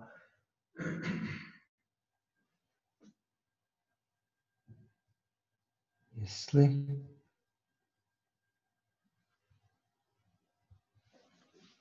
nebudu to teda, nebudu to tedy, nebudu to tedy komplikovat. Nebudu to tady komplikovat, nicméně pokud eh, by se to podařilo, eh, tak vlastně eh, vy zde vidíte vlastně prognózu, takže máme tady opět toho vývojáře softwaru, vidíme, že prognoza vlastně uplatnění na trhu práce je rostoucí. Můžeme se podívat ale do minulosti, jak se ten obor vyvíjel, můžeme se podívat opět zase, jaká je tam mzda a podobně. A pokud si rozklikneme ten obor, co mě tam zaujalo je, že jsou tam neustále aktualizované kompetence, ať už ty odborné nebo ty měkké, které jsou pro tu profesi vyžadované. A ta prognoza šla tak daleko, že že tam vlastně předpovídají i vlastně potřebu růstu těch významů těch jednotlivých kompetencí. Takže nejenom eh, prognoza toho, jak se nám vyvíjí eh, ten jednotlivý obor, eh, potřeby po pracovní síle, ale vlastně i ten vnitřek, jak roste význam těch jednotlivých kompetencí. A tam je třeba právě krásně vidět, že i v rámci toho softwarového vývojáře eh, roste velice význam vlastně těch měkkých kompetencí, eh, práce v týmu, eh, prezentační dovednosti a podobně. Takže a abych nezapomněl, velice důležitá kompetence, která se ukazuje ve všech těchto, těchto modelech a to asi na to pak naváže po mně i kolega Vlček, který bude mít prezentaci, tak je to kompetence nebo umění učit se opravdu, protože ta doba je velice turbulentní, ty požadavky eh, na, eh, na pracovníky se neustále mění, takže vlastně ta schopnost se jim přizpůsobovat, být flexibilní a učit se eh, nabývá stále více na významu. Já teďka uh, úplně, pokud se bavím o těch kompetencích, tak uh, jsem rád, že zde mohu vlastně zmínit uh, uh, moji ob, jeden z oblíbených modelů a to je Nesta, která vlastně vytvořila uh, celou taxonomii dovedností. Uh, je to uh, je to takový, řekl bych, poměrně originální počin. Podobný, podobný, jsem, podobný jsem nezaznamenal. Vzniklo to ve Velké Británii, kde vlastně vyšli z toho, že nedostatek dovedností může být velice nákladný a může bránit růstu. Ať už jednotlivých firm, tak vlastně ekonomiky jako takové. Takže oni vytvořili veřejně dostupnou taxonomii dovedností, kterou založili na datech. Tady je zajímavé i vlastně, jakým způsobem oni tu taxonomii vytvořili, protože Oni nevycházeli z nějakých statistických údajů, které, nebo z nějakých statistických hlášení, ale analyzovali 41 milionů britských pracovních nabídek. Takže na základě strojového učení a umělé inteligence oni vlastně z těch inzerátů, které procházely na internetu, e, dokázali agregovat 10 500 jedinečných dovedností. Těchto 10 tisíc dovedností pak dále agregovali a agregovali, až vlastně vytvořili 143 zhluků specifických dovedností, eh, které vlastně tvoří eh, tuhle tu eh, taxonomii tu konečnou taxonomii vy vidíte zde, nebo ono je to asi malinkým písmem, ale samozřejmě ono to jde rozkliknout. Já to pro tuto chvíli uh, nebudu, nebudu asi komplikovat, ale vy dostanete samozřejmě ty prezentace také uh, k dispozici, takže můžete si to, můžete si to vlastně projít. Co je zajímavé, zajímavým zjištění je, eh, a platí to teda pro Velkou Británii úplně stejně jako pro nás a řekl bych asi zřejmě i pro Německo nebo, nebo obecně, tam prostě ty sociokulturní faktory, eh, trendy hrají velkou roli. Existuje velký nesoulad nabídky a poptávky a to na trhu práce. A to nejenom v oblasti, eh, v oblasti těch profesí, ale právě těch jednotlivých dílčích dovedností a kompetencí tady se právě ukazuje uh, ta nutnost uh, nějakým způsobem na to reagovat a aktualizovat vlastně uh, ty profily absolventů, ty školní vzdělávací programy a podobně. Kolegové ve Velké Británii tak vlastně přišli s tím řešením na základě této taxonomie vytvořit informovaný trh práce. Co to znamená? Znamená to, že vlastně poskytovatelé vzdělávání, zaměstnavatele zaměstnanci, uchazeči o zaměstnání, ale vlastně i tvůrci politik přesně vědí, jaké dovednosti jsou aktuálně na trhu práce potřeba a dokáží na to pružně reagovat. Eh, takže eh, oni tuto taxonomii ještě obohatili o odhady poptávky po každém tom klastru, to jsou tady eh, tyto, jako už řeknu, přečuhy, a dokáží vlastně sledovat i změny poptávky v následujících letech. To všem není zdaleka všechno. Oni vlastně ke každému tomu dovednostnímu klastru ke každému tomu dovednostnímu klastru přiřadili vlastně hodnotu.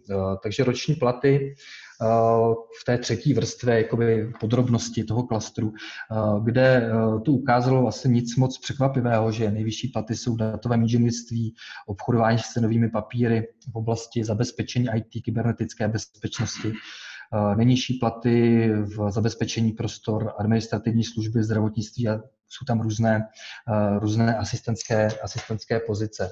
Ale opět eh, je to velice zajímavé, že můžeme si říct, že nejenom jsou odměnováni eh, profese, ale že určitou hodnotu mají ty jednotlivé dovednosti a kompetence. Takže to si myslím, že je velice zajímavý přístup. A nyní se dostáváme k mému úplně nejoblíbenějšímu grafíku, který je interaktivně strašně hezký. Tady vidíte, vidíte jenom takový, takový, takový zhluk.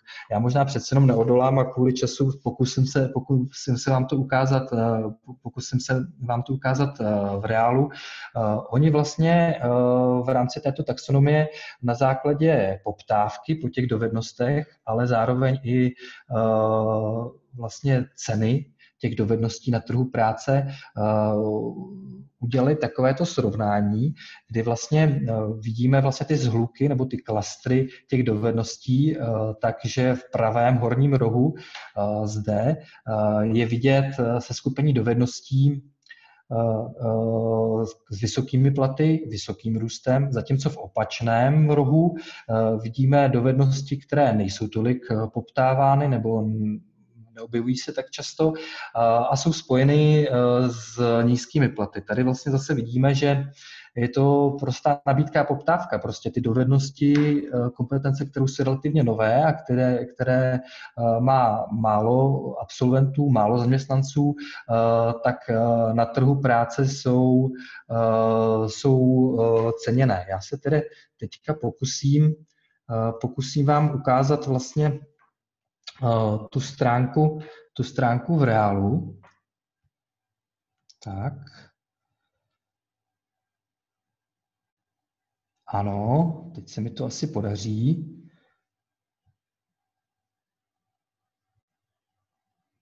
Tak, jsme na té webové stránce.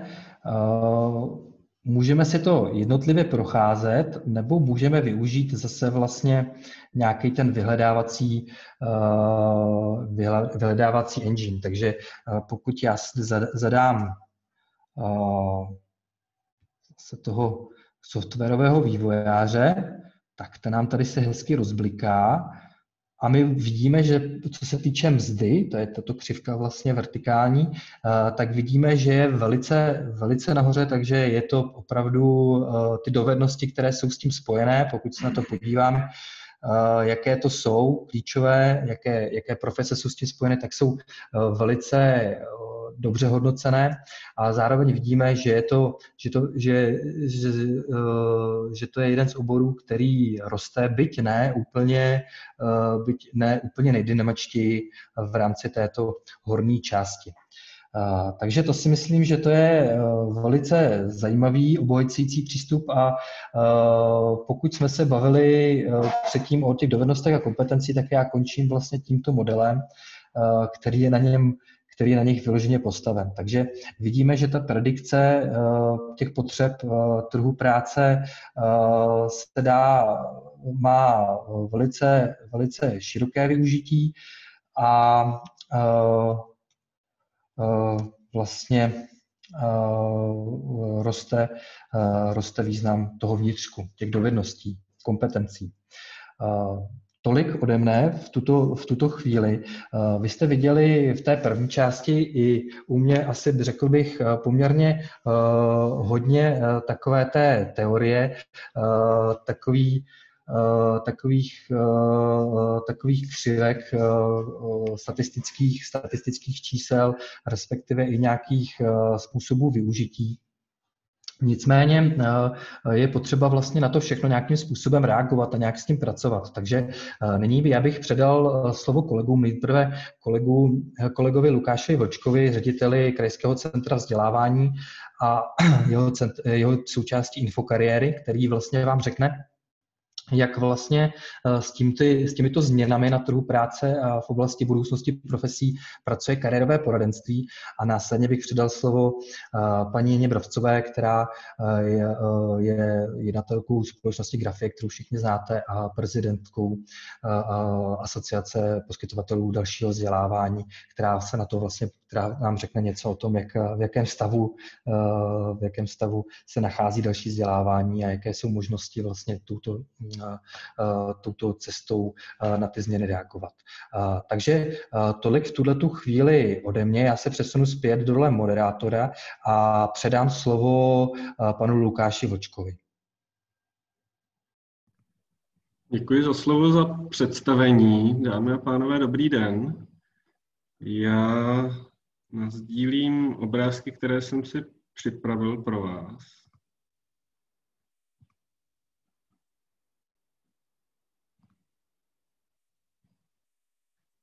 Bude jich pár, ehm, mělo by se to vejít do těch deseti minut, tak to zvládneme. Ehm, já bych vám chtěl nabídnout jeden pohled, eh, který se týká kompetencí, ale ne úplně těch kompetencí, které se váží přímo na ehm, kompetence v jednotlivých povoláních. Eh, jsou to kompetence, které se snažíme rozvíjet u klientů kariérového poradenství. Krajské centrum vzdělávání od roku 2015 kariérové poradenství Eh, poskytuje v rámci činností, které, kterým říkáme infokariéra. A eh, v rámci těchto činností eh, pracujeme s klienty, ale pracujeme i se sociálními partnery v oblasti kariérového poradenství nejen v Čechách, ale v Evropě, řekněme. A já bych vám rád ukázal, jakými kompetencemi se vlastně zabýváme u klientů, jak to souvisí s budoucností profesí a jaké ještě další oblasti nebo možná nové pojmy vznikají, eh, jak už dneska bylo několikrát řečeno, v době, která se velmi rychle mění, proto možná i ty nové pojmy, které vlastně pojmenovávají nové oblasti. Pardon, tak už to i ovládám, ale moc rychle, tak snad teď. Tak, teď už omlouvám se.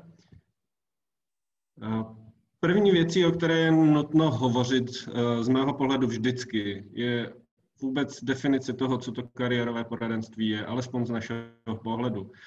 Tady vidíte dvě oblasti, které bych rád velmi rychle nadefinoval, a to je, jak vlastně vnímáme kariéru, co to je. Z mého pohledu, prosím, přeštěte si to, z mého pohledu to jasně směřuje k tomu, že se jedná o celoživotní rozvoj nebo se, seberozvoj nějakých kompetencí. Kariéra z našeho pohledu ani vlastně nejde v současné době reflektovat jako nějaký omezený čas v práci. Je to zkrátka složka různých činností, které se dějí v našich životech. No a druhá oblast je ta oblast poradenství, to spojení kariérové poradenství. V Čechách prostě takhle tomu říkáme. Nicméně to poradenství se ukazuje jako uh, proces, který je více zmocňující, který vlastně pomáhá tomu klientovi, aby si takzvaně dokázal pomoci sám. Uh, směřuje ke kvalitnímu uplatnění sama sebe v životě, totiž toho klienta v životě, tak, aby vlastně um, uh, se on rozhodoval a on vytvářel svůj život. A tam zase z toho pro mě leze jediná informace nebo důležitá informace, že ta příprava vlastně na ten profesní život v dnešní době a směrem do budoucnosti není příprava k té jedné profesi, tak jak jsme na to byli zvyklí. V tom kariérovém poradenství se to velmi silně ukazuje a i ty trendy ukazují, že zkrátka ta příprava na jednu konkrétní profesi z, pohledu dnešního světa a budoucího světa už není vlastně možná. Proto možná to zaměření na ty obecnější kompetence, které umožňují tu tranzici. A ta tranzice je jedna z věcí, který, které, které se kariérové poradenství intenzivně zabývá. Už v současné době nejenom v České republice, nebo řekl bych to opačně, nejenom v Evropě, ale už i v České republice je mnoho klientů, kteří mění profesi, ale nejenom třeba z toho důvodu, že ta profese mizí nebo se nějakým způsobem transformuje, ale zkrátka z jiných důvodů, z osobních důvodů, ke kterým se ještě dostanu. Pojďme dál. Prvním pojmem, který je možná obecný a nový, je pojem, který zkoumají v, na Masarykově univerzitě v, Brně, v Brně v rámci kariérového poradenství a je to pojem kariérová adaptabilita. Vidíte, že je to taky nějaká kompetence, možná až by se dalo říci vlastnost klienta nebo člověka. A je to něco nového, co vlastně vyžaduje, aby člověk v současné době měl, aby se dokázal o sebe postarat na trhu práce. Ta kariérová adaptabilita je zaměřená na potenciál toho jedince, eh, vlastně, nebo na využívání potenciálu toho jedince v různých profesních rolích, totiž ne v té jedné, ale v různých. Vidíte, že je tady celé, celé, celé portfolio toho, co by ten člověk měl zvládat. Druhý podobný pojem, který se také týká nějakých kompetencí, které jsou ale obecnější a slouží vlastně k tomu, aby se člověk dokázal ve svém životě pomoci a poradit, jsou kariérové kompetence. No, o tom už kolega hovořil, eh, kompetence k řízení vlastní kariéry, career management skills. Tady je zase třeba říct, že vlastně práce na těchto kompetencích je celoživotní proces. Tady vidíte několik vyjmenovaných těch kompetencí.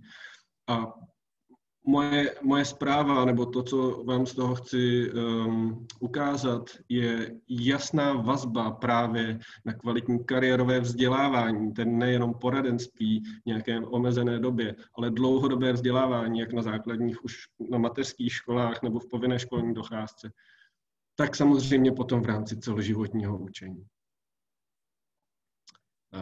Pak jsem si pro vás připravil ještě nějaké oblasti, které jsou možná pro někoho úplně nové, a to je nějaká oblast, kterou, která se obecně nazývá rezilience, co by to vlastně mělo být.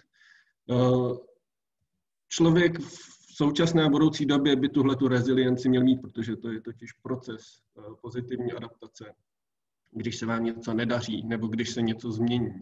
Takže ta schopnost pozitivně se adaptovat na tu situaci, se nazývá reziliencí. Vidíte, že zase má několik složek. Je nutné říci, že eh, v individuálním kariérovém poradenství je krásně vidět, že tuhle tu schopnost má každý docela na jiném levelu a úplně jinak postavenou. A eh, tím se dostávám k něčemu, co vlastně v kariérovém poradenství se objevuje jako úplně základní věci, které klienti řeší a se kterými se setkávají při volbě vzdělávací, ale i profesní cesty. A ty jsem se pokusil um, ty jsem se pokusil vypsat tady. Tohle jsou věci, kterým se, kterými se zabývá člověk, který hledá své profesní uplatnění a připravuje se na nějakou profesi. On musí pracovat s nejistotou, on musí do svého rozhodování um, zapojit i náhodu a štěstí. Musí se velmi dobře naučit pracovat s chybou, protože tím, že nevíme, do čeho jdeme, nebo je to pro nás nové, tak ty chyby jsou prostředkem pro to, abychom se dostávali dál. A kariérové poradenství je tady od toho, aby v těchto bodech pomáhalo, aby podporovalo vlastně u toho klienta jeho vlastní cestu, aby podporovalo možná i nějaké experimenty v přemýšlení o tom, eh, jak vlastně ten, ehm, řekněme, vzdělávací, ale potom i profesní, eh, jak tu vzdělávací a profesní cestu nastavit sám pro sebe. A to je znova moje linka k tomu, že kariérové poradenství a kariérové vzdělávání je v současné době více zaměřeno na osobnostní rozvoj a podporu celoživotního učení těch klientů.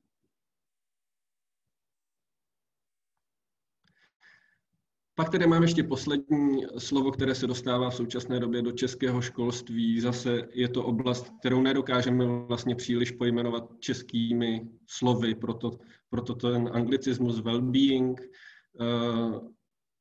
Vlastně, když by se řeklo, že to je být v pohodě ve škole, tak si asi u toho nepředstavíme úplně jenom pozitivní prostředí. Ale já bych chtěl přinést ještě jednu myšlenku. Ten well-being, totiž v kariérovém poradenství, nemusí být myšlený nebo není myšlený jenom tak, že je to well-being a zaměření na toho klienta, na tu osobu toho klienta, ale do kariérového poradenství a do těch poradenských procesů se ještě více dostává well-being i prostředí. To znamená uh, zohlednění uh, toho, co moje rozhodnutí mají společného nebo jaký mají dopad na prostředí, ve kterém žijí. A to jak prostředí, jak si um, přírodní, bych řekl, nebo kulturní, tak to prostředí společenské. Ten posun od toho zaměření na klienta a jeho um, jaksi požadavky a potřeby uh, a rozšíření těchto obzorů do té komunity, ve které žije a do prostředí, ve kterém žije, je za posledních deset let v kariérovém poradenství a vzdělávání jako velmi silný prvek vidět. Dostáváme se potom samozřejmě k oblastem jako sociální spravedlnost a nějaká spoluodpovědnost za prostředí, které spolu vytvářím a tím se vlastně dostávám k tomu, že v současné době i ti zaměstnanci, kteří se chystají na nějakou svoji pozici, na nějakou svoji práci, svým, svojí činností ten trh práce vytváří, proto je dobré s nimi hovořit. Eh, my máme takové dvě činnosti, které vám mohu nabídnout v téhle krátké době, abyste se na ně podívali. Jedno je na stránkách Infokariéry, na webových stránkách Infokariéry je tam blog, kde se můžete seznámit trošku dohloubky s některými tady těmi pojmy a činnostmi, které se dějí. Zároveň je tam, myslím, docela dost zajímavých informací. A e, druhá naše aktivita, která je velmi zajímavá směrem k žákům a jejich rodičům, je aktivita, které říkáme Posvíci na budoucnost, Spolupracujeme na ní s několika aktéry, úřadem práce, regionální hospodářskou komorou eh, v Plzeňském kraji. Eh, tak prosím, podívejte se i na, na tento web. Eh, myslím, že se pojí právě s tou budoucností profesí v oblasti těch kompetencí. Omlouvám se, že jsem mluvil tak rychle, pokoušel jsem se to stihnout do deseti minut, snad se mi to ani nepodařilo. Takže děkuji za pozornost, jsem k dispozici pro diskuzi a předávám slovo.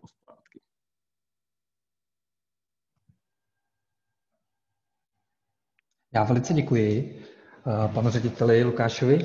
A eh, pokud máte nějaké, nějaké dotazy, tak prosím eh, hlašte se, případně pište to do toho, do toho chatu. Já bych nyní poprosil Eh, ono vlastně já vždycky vnímám vlastně to další vzdělávání eh, jako velice spojenou, jako spojenou nádobu vlastně s tím kariérním poradenstvím.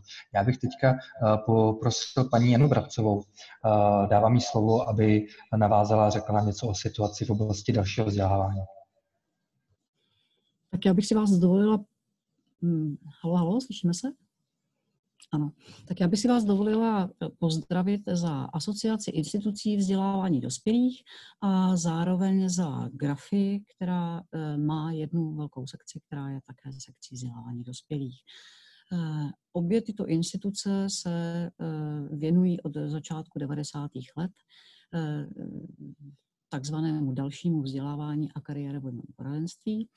A e, já musím, být, musím říct, že jsem velmi ráda, že jsme byli přizváni e, k této aktivitě, protože e, vnímáme veškeré vzdělávání dospělých v České republice jako návazné na základní školské vzdělávání, které má nebo vtiskne tomu člověku ten základ, to znamená ten člověk eh, má jakousi původní profesní orientaci a my vzdělavatelé dospělých se snažíme mu v dalším životě, to znamená někdy už od 18, někdy dokonce dřív, až po eh, odchod do důchodu a zase někdy i s přesahem eh, do důchodového věku, pomoci s tím, aby se vzdělával stále kontinuálně v průběhu celého života.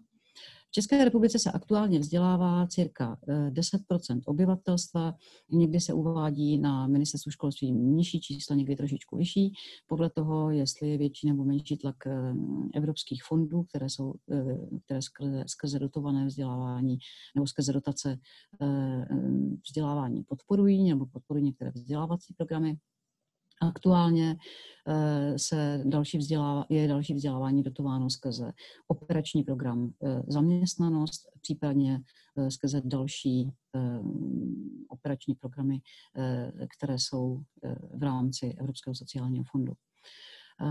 Co se týká aktuální situace, tak ta pro vzdělávací instituce příliš dobrá není.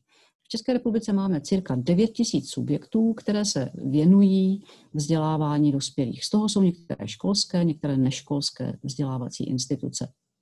Eh, ty školské, případně knihovny nebo další instituce, které jsou nějakým způsobem podporovány a dotovány státem, mají tu situaci trochu usnadněnou, ale eh, o život bojují právě ty neškolské vzdělávací instituce. V tuto chvíli eh, je to tak, že Ehm, od 12.10. máme opět zakázanou činnost, to znamená, jsou zakázány v podstatě veškeré prezenční vzdělávací akce, a to tak, že do začátku listopadu pro eh, instituce, které neprovozují online vzdělávání, to znamená eh, vlastně 100% zrušených akcí, ať už se jedná o eh, veřejné zakázky, ať už se jedná kurzy školení firemní, kongresy a další aktivity. A samozřejmě jde také o rekvalifikace a profesní vzdělávání. Už na jaře vzdělavatele byli eh, nuceni zavřít eh, své pobočky, anebo teda alespoň části poboček. A eh, když se v průběhu prázdnin mm, povedlo trošičku oživit ten trh a na podzim se nastartovaly aktivity, kdy vzdělavatele realizovali přeložené kurzy, školení a podobné věci, tak přišel opět eh, téměř, eh, nebo pro nás eh, jednoznačně lockdown. Nás je zajímavá ta věc, že jako vzdělavatele jsme dlouhá léta bojovali o to, abychom mohli realizovat online. A snažili jsme se online zaintegrovat do rekvalifikačních kurzů, do kurzů, které jsou firmní, které, které jsou na zakázku a podobně, ale eh, to odmítání eh, ze strany zákazníků bylo poměrně jednoznačné a ze strany akreditujících orgánů také. V této chvíli se dá říct, že teď to máme a co si s tím asi tak počneme. Ukazuje se, že i když jsou vzdělavatelé připraveni na realizaci online, tak eh, zákazník o to prakticky příliš zájem nejeví. Všichni jsme přetíženi eh, učením dětí v domácnostech, eh, vlastním home office a u těch obrazovek trávíme takové množství času, že v dalším čase už se ten člověk vlastně přes obrazovku vzdělávat nechce. Druhá věc je, že vlastně dochází k takovému docela zajímavému efektu, který, který, který popisují neurologové, kteří říkají, že ve 2D, tedy v, eh, přes obrazovku, eh, vydržíme pozornost velmi krátce. Oproti tomu tady vidíme třeba mm, ty programy různé dovednostní tréninky a podobné věci, které dnes realizují špičkové společnosti v průmyslu pro své zaměstnance. To znamená třeba 3D trénink eh, eh, se zapojením veškerých senzorů na linkách eh, jako daleko efektivnější a jako něco, co se zdá, že bude mít pravděpodobně budoucnost. Co se týká těch, toho vzdělávání v České republice, zdá se, že v tuto chvíli nemáme příliš mnoho šancí se prosadit eh, s kompenzačními nároky nebo případně eh, s něčím specifickým, co by se týkalo eh, proplacení kompenzací pro zakázaný obor vzdělá, mimoškolních vzdělávacích institucí. Je to pro nás velmi těžké, protože pokud nemůžete realizovat, tak a neběží vám automaticky plat nebo úhrada nákladů na, na veškeré nájmy a tak dále, tak, je, tak ta, eh, ty instituce, které jsou vyčerpány eh, z eh, jarních období, jarního období, v této chvíli už mají vlastně docela problém. Řada z nich nebyla schopná ani kompenzace čerpat. Jedná se často o e, malá SROčka, osoby samostatně výdělečně činné, ať jsou to lektoři a tak dále. Takže tohle všechno e, je v této chvíli ve velkém ohrožení a my jako asociace vzdělavatelů dospělých e, bojujeme e, o, v tuto chvíli o Eh, kompenzace eh, pro obor, eh, které by obor vlastně zachránili. My si myslíme, že pro budoucnost je to, jsou ty mimoškolské instituce, které se vzdělává, věnují vzdělávání dospělých, velmi důležité, zejména proto, že školské instituce dokážou reagovat v rámci toho primárního vzdělávání a toho nastavení Eh, řekněme, nebo základního nastavení eh, profese u člověka. Ale potom eh, to další vzdělávání v dospělém věku je strašně důležité proto, že umí reagovat pružně a umí reagovat rychle na tu poptávku. To znamená, tam je obrovská přidaná hodnota těch vzdělávacích institucí, které velmi dobře mohou doplnit činnost školských institucí. Eh, otázka je, eh, a já teda musím říct, že, velmi oceňuji tu eh, aktivitu regionální rozvojové agentury v projektu Kompas, protože i z toho my jako vzdělavatelé dospělých velmi čerpáme své informace. Co se týká možností tom napojení na, na eh, vzdělávání eh, základní, musím říct, že eh, považuji za velmi důležité kariérové poradenství, které v prvním momentu je schopno rozhodovat nebo pomáhat tomu člověku s volbou povolání a v době, kdy která teď teda nastává v době pandemických opatření, která jsou, mají a ještě budou mít velké, velké ekonomické dopady do zaměstnanosti, vidíme velmi důležité že někdo je schopen eh, samozřejmě ještě vedle eh, úřadu práce a dalších státních institucí se individuálně věnovat poradenství člověku, roz, rozebrat s ním jeho situaci a na základě toho eh, individuálního definování gaps nebo těch mezer v kompetencích říct si, toto by si měl doplnit, abys byl uplatnitelnější na trhu v práce v obecných kompetencích a potom to eh, další potřebuješ nebo nepotřebuješ vzhledem k aktuálnímu trhu, stavu trhu práce svoji eh, nějakou další, nějaký další profesní rozvoj nebo snad změnu kvalifikace nebo posun v kvalifikace nějakým jiným směrem. Myslím si, že eh, pokud bychom se dívali na eh, možná opatření, která by se eh, v nejbližší době mohla realizovat. My jsme se jako vzdělavatelé dospělých snažili jít cestou doporučení Kurzarbeitu ve, společ- ve spojení se vzděláváním dospělých. Myslíme si, že delší doba člověka, a to je poměrně jednoznačně vyzkoušeno, delší doba, kdy člověk není v aktivním procesu, pracovním procesu eh, samozřejmě vede k mm, pozbytí pracovních návyků a k dalším eh, následkům, které známe běžně eh, z úřadu práce u nezaměstnaných.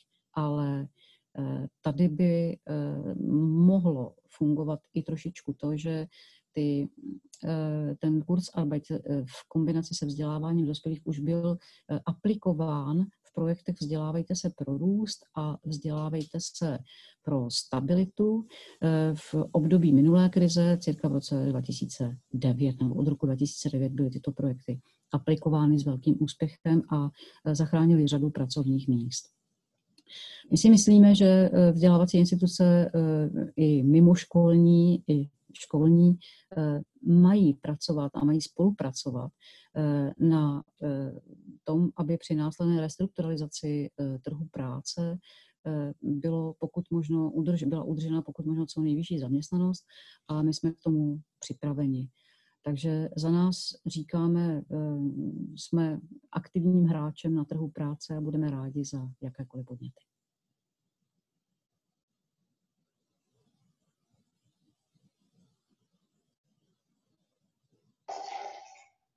Tak, výborně, já děkuju moc krát, paní ředitelko.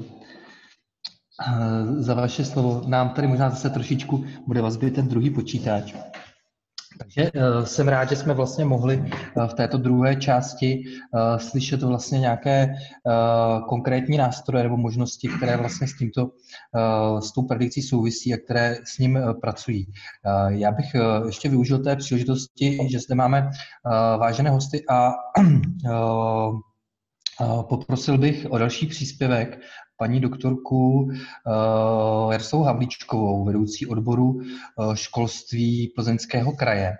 Uh, jestli by nám řekla, jak jakým způsobem vlastně ten, to vlast školství v, na, na, na krajské úrovni s tou predikcí pracuje a jaká je situace v této oblasti. Takže, paní doktorko, máte slovo. Takže dobrý den, já vás všechny zdravím a jsem ráda, že také mohu promluvit za oblast školství a vy mě pustíte teda tu moji prezentaci a můžeme se podívat.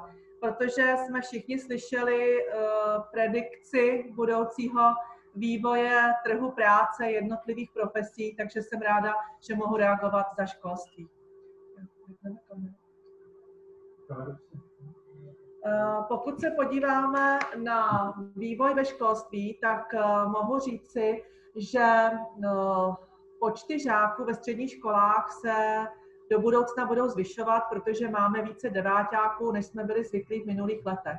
V letošním roce z těch 43 středních škol, které Plzeňský kraj zřizuje, tak vycházelo z devátých ročníků 4456 žáků a eh, podle údajů, které máme k dnešnímu dni, tak 4589 nastoupilo do středních škol.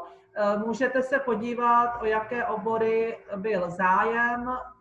Musíme si ale říci, že žáci podávají dvě přihlášky, takže proto ta vysoká čísla odevzdaných přihlášek, ale vyplývá z toho, že velký zájem je o obory maturitní, o obory čtyřleté. Také si musíme říci, že nám nastupují žáci na víceletá gymnázia. V, letošních, v letošním roce to bylo 528 žáků. Eh, zajímavý pro vás bude ten další graf, kdy uh, vidíme, že do čtyřletých gymnázií nám nastoupilo 8% žáků. Jestli můžu poprosit o ten graf.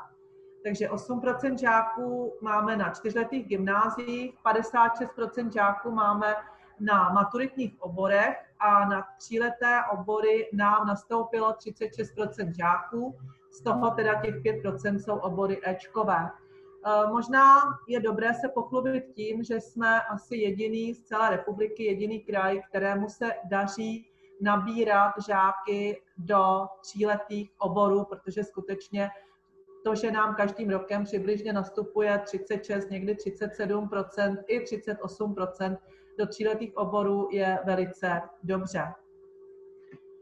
Eh, když se eh, podíváme vůbec na to, eh, o jaké obory je zájem a spíše o to, kam chceme směrovat žáky, tak od roku 2010 Plzeňský kraj podporuje technické vzdělávání a motivuje žáky ke studiu technických oborů.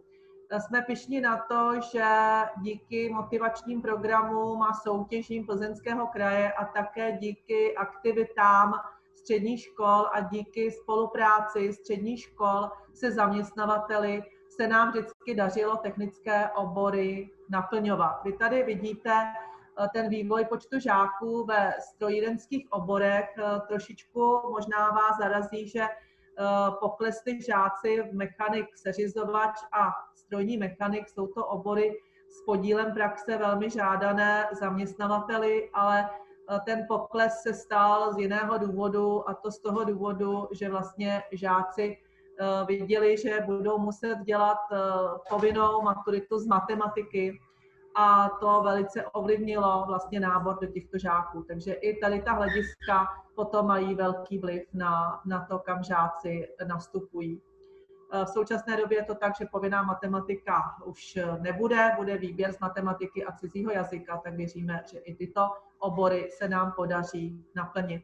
Můžeme se podívat na obory elektrotechnice, i tyto obory se daří naplňovat, eh, dokonce vlastně v tomto roce k září těch žáků je víc. Ano, ten trend, jestli poprosím pana Gondorčína, jestli nám to posune, tento trend v těch elektrotechnických oborech vidíme, že, že ten počet se tam i do budoucna bude zvyšovat, protože ten zájem je vysoký.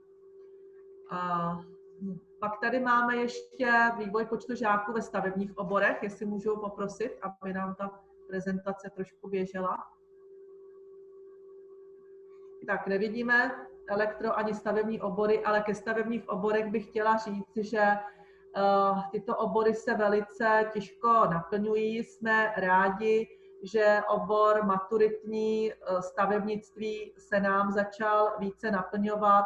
V letošním roce také byl i uh, zájem o další technické stavební obory. Nemáme tady třeba uvedeného truhláře, ale také vlastně truhlář se v letošním roce také, také dobře naplnil. Plzeňský kraj v posledních letech podporuje také zemědělské obory, takže se můžeme podívat i na zemědělské obory, že ano, také se prostě daří tyto obory naplňovat. Nemáme tady pokles, ale spíše nárůst. A tak, jak vlastně jsme viděli dneska tu predikci trhu práce, tak se tam vlastně hovoří o těch sociálních oborech, o zdravotnických oborech. Tak v letošním roce jsme skutečně po mnoha letech, kdy jsme se snažili nabírat žáky také do zdravotnických oborů, tak se to letos eh, povedlo. Ten počet žáků skutečně skokově narostl. Nemáme tady dneska ten graf, ale jenom to říkám na základě eh, toho, co jsme tady dneska viděli. A naplnili se žáci v Plzni, v Domažlicích i v Klatovech vlastně na všech školách, které, které tyto obory mají. Uh, nedaří se tolik naplňovat obory sociální, ale také, také ta snaha Eh, by tady do budoucna měla být na základě toho, jak jsme viděli tu predikci. Eh, do budoucna bych byla velice ráda, aby se dařila spolupráce se zaměstnavateli, spolupráce škol a zaměstnavatelů i spolupráce s náma, s odborem školství, protože eh, bude zapotřebí vůbec si říct, jaké obory do budoucna chceme naplňovat právě podle té predikce, trhu práce, ale vždycky je to s ohledem na možnosti oborové struktury, na kapacitní možnosti. A takže já bych chtěla jakoby závěrem říci, že se těším na tuto spolupráci, že jsme rádi, že obory, které zaměstnavatelé potřebují, že je podporují tím, že dávají žákům stipendia a toto bychom byli rádi, aby se udrželo i do budoucna. Takže těším se na spolupráci a děkuji za pozornost.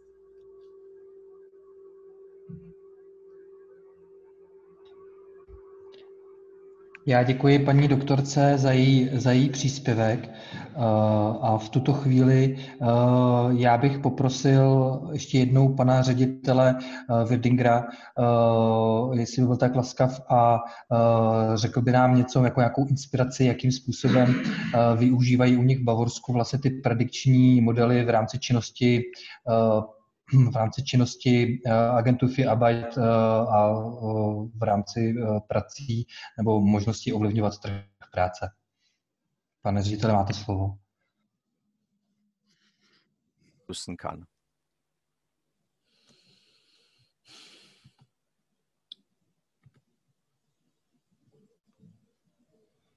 Ja, danke für, danke Děkuji za slovo. Já momentálně ještě se mi nedaří zobrazit moji obrazovku. Teď. Vidíte moji prezentaci? Bod je využití, pro, uh, využití uh, predikčních modelů pro práci úřadu práce. Megatrendy na trhu práce jsou při nejmenší v Evropě stejné já se omlouvám, eh, že vstoupím, eh, vstoupím do toho nevidíme. Já ne. Eh, nevidíme zatím tu prezentaci, jestli se pokusíte ještě jednou nazdílet.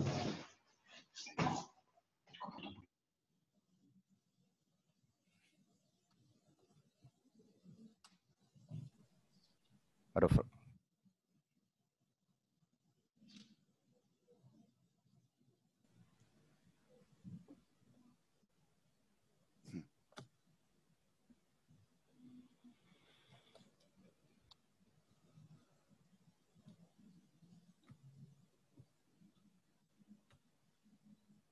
So, nein, ich, Sie sehen es immer noch nicht. Pořád stále ji nevidíte.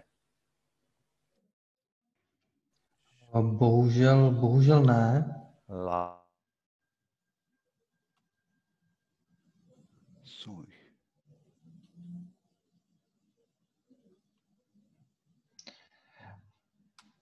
Případně mohu zkusit uh, to promítnout od nás s tím, že uh, dle pokynu pana ředitele budu překlikávat. Pokud se můžeme domluvit takto.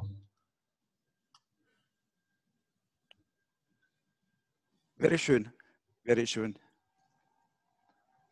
Sie geben mir Bescheid, wenn die Präsentation steht. Mhm. A dejte mi prosím vědět, až ta prezentace bude zobrazená.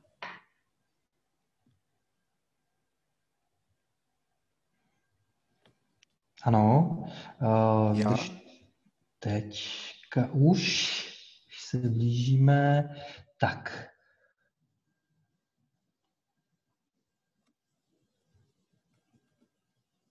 So, Herr Gondacin hat beschrieben, wie die Megatrends am Pan Arbeitsmarkt sich Kodočin popsal, jak se vyvíjejí megatrendy na uh, trhu práce a ty jsou uh, i z důvodu demografického vývo- vývoje eh, z celé, v celé Evropě stejné a zjištění z analýzy poptávky a nabídky v, v Německu vyplynulo, že v Německu v roce 2030 bude zapotřebí přibližně 3 miliony odborných pracovníků, což vedlo k iniciativám.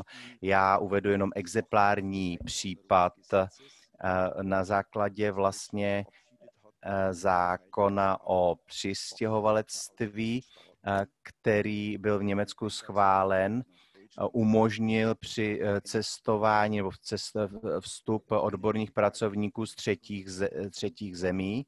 Pane Gondorčíne, když teď kliknete na další, fol, na další slide, další iniciativou je da- takzvaná národní b- strategie dalšího vzdělávání.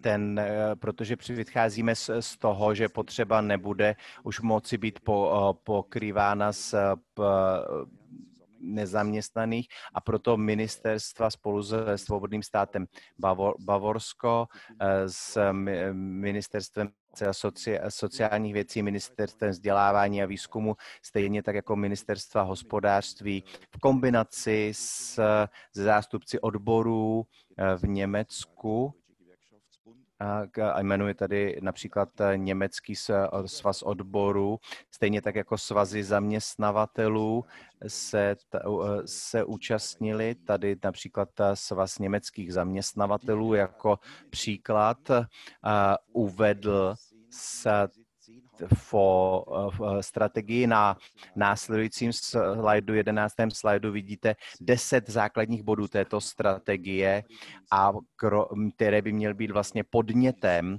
pro eh, a ty, ty se vyplatí se určitě blíže prostudovat, protože pravděpodobně budou eh, stejnou výzvou i pro Českou republiku. Já bych chtěl zmínit dva z těchto dvou bodů. Pod bodem číslo 8 jsou například vzdělávací zařízení, co by kompetenční centra pro eh, další eh, profesní vzdělávání a je potřeba jejich strategického dalšího rozvoje. Bod eh, číslo 9 je kvalifikace personálu v dalším vzdělávání, aby se, aby se vlastně připravil na digitalizaci. My, co by agentura práce, jsme byli pověřeni eh, realizací bodu 3 a sice celoživotní eh, v poradenství ohledně dalšího vzdělávání a jeho eh, plošná síť a poradenství v oblasti kvalifikace, především pro střední a střední, pro malé a středně velký, velké podniky. Stejně tak jako v, tady, tak i v Něm, Německu si velké podniky vz, provádí nebo realizují svoje další vzdělávání sami a vzniká tady v podstatě jakási mezera pro malé a středně, velký, středně velké podniky, kterou bychom měli mi pokryt. Na následujícím slajdu na následujícím slajdu vidíte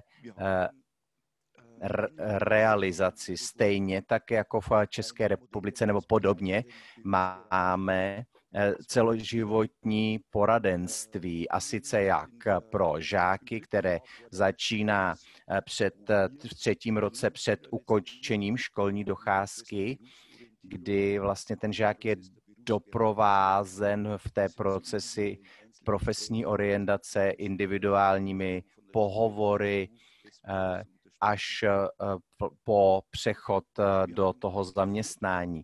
Eh, my jsme zavedli model celoživotního profesního poradenství i ve výdělečném životě, to znamená v profesním životě. To znamená, že doprovázíme po celý život zaměstnance nebo stojíme mu k dispozici jako poradci. A to je zaštítěno informační kampaní, to je ta, eh, to je římská pět, kdy eh, řemeslnické komory a průmyslová obchodní komora účastní se, ale i ministerstvo práce a sociální eh, věcí, stejně tak jako svazy zaměstnanců a z toho vlastně eh, vyplynul zákon o příležitostech, eh, kvalifikačních příležitostech, které, eh, který je podporován opatřeními z Evropského sociálního fondu v Bavorsku.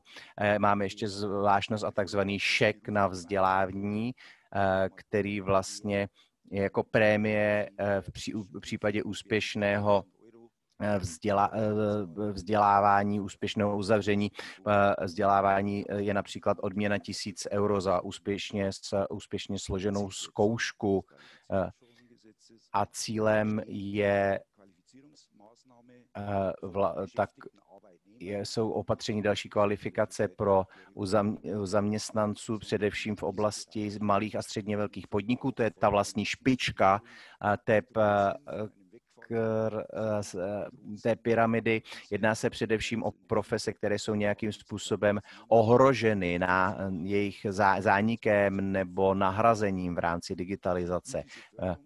Jak ta podpora vypadá. To vidíte potom na slajdu číslo 13, zákon o příležitostech na kvalifikaci udává vlastně způsob financování těch jednotlivých eh, opatření. Vycházíme eh, z velikosti podniku, čím krátce řečeno se dá říct, že čím menší je podnik, tím vyšší je ta podpora. A tady vlastně přičemž by se nemělo stát, že náklady eh, na eh, opatření dalšího vzdělávání by měly tomu podniku, po případě podnikateli, zabránit se toho programu účastnit.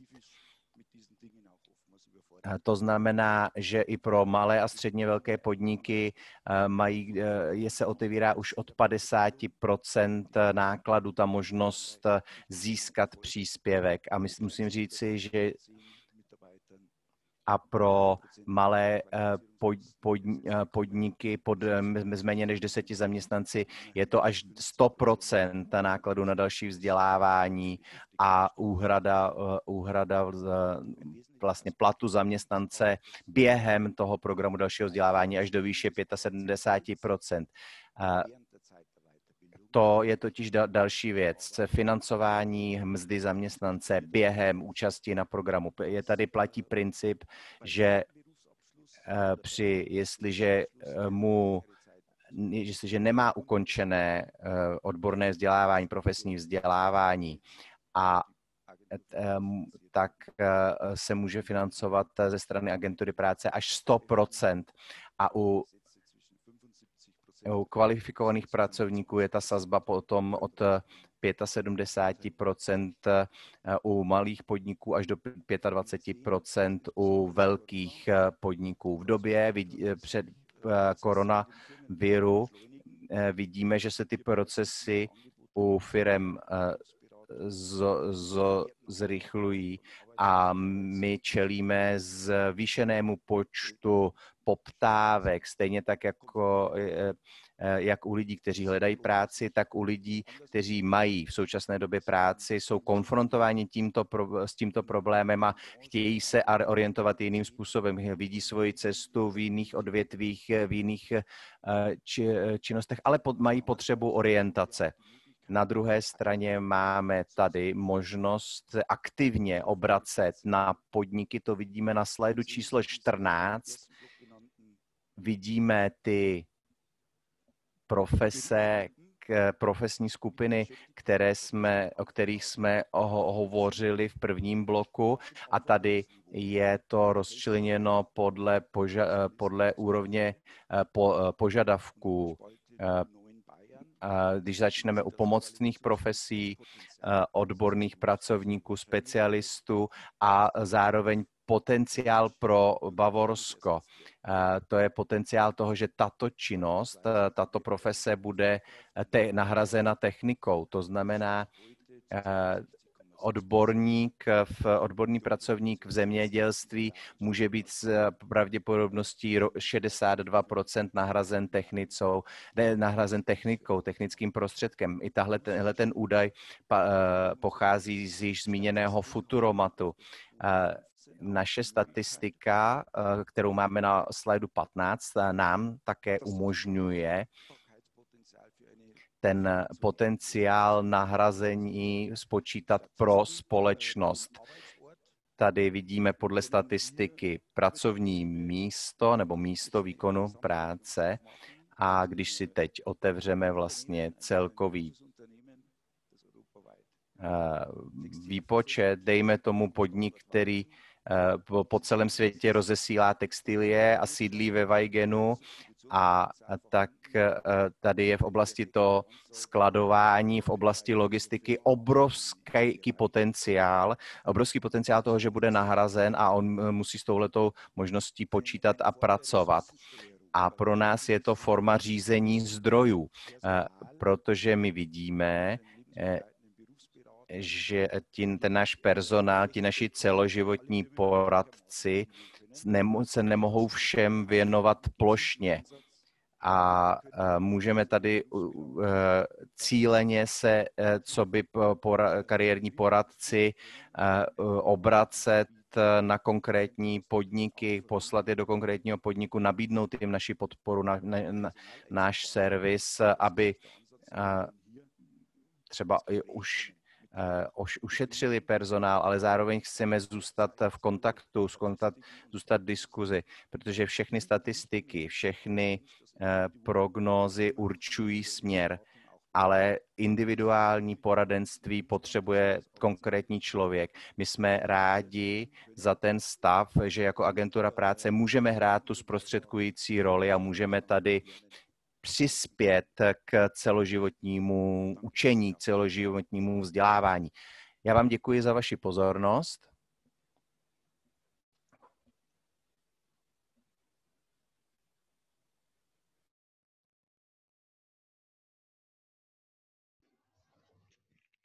Já velice děkuji panu ředitelovi za jeho prezentaci, která musím říct, my jsme tady se na to dívali s panem ředitelem Novotným z Českého úřadu práce, tak ji považujeme za velice inspirativní a zrovna jsme hovořili o tom, o těch vazbách co by bylo dobré přenést z toho do českého prostředí. Takže ještě jednou, jednou děkuji. A úplně na závěr v rámci dnešního programu, když malinko uh, přetahujeme, uh, bych poprosil o závěrečnou prezentaci a slovo uh, pana ředitele Zdenka Novotného z Českého úřadu práce. Ještě jednou dobrý den všem. Já se asi obejdu bez prezentace. To, co chci říct, je velice krátké. Asi úvodem bych řekl, že eh, velmi významným zdrojem dat pro eh, eh, monitorování situace na trhu práce je náš tzv. monitoring, který dělí úřady práce začátkem každého nového roku. pokud by hovořil o našem kraji, tak u nás při posledním monitoringu bylo obesláno 1682 firm jednotným dotazníkem, který je dan pro celou republiku jednotně, plus na druhém listu máme dodatek, který je specifický pro náš kraj, podle toho, co naše školství nebo třeba příště univerzita potřebuje zjistit od zaměstnavatelů. A návratnost těchto dotazníků byla, bylo jich vráceno 1215, to je 72% Toho si velice vážím a tady bych chtěl poděkovat všem firmám, které odpověděly, že je to velmi důležité pro výsledek monitoringu a vlastně předpovědí toho, co se bude dít na trhu práce. Asi spíš bych řekl těch krátkodobých předpovědí, protože my se ptáme na to, co čekají během následujícího roku. Tady to všechno je upřesňováno, já bych řekl, průběžným monitoringem, což spočívá v osobních schůzkách s personalisty firm, jednání v těch firmách, uspořádání pro napřání firm předvýběrových nebo výběrových řízení na budoucí eh, pracovníky.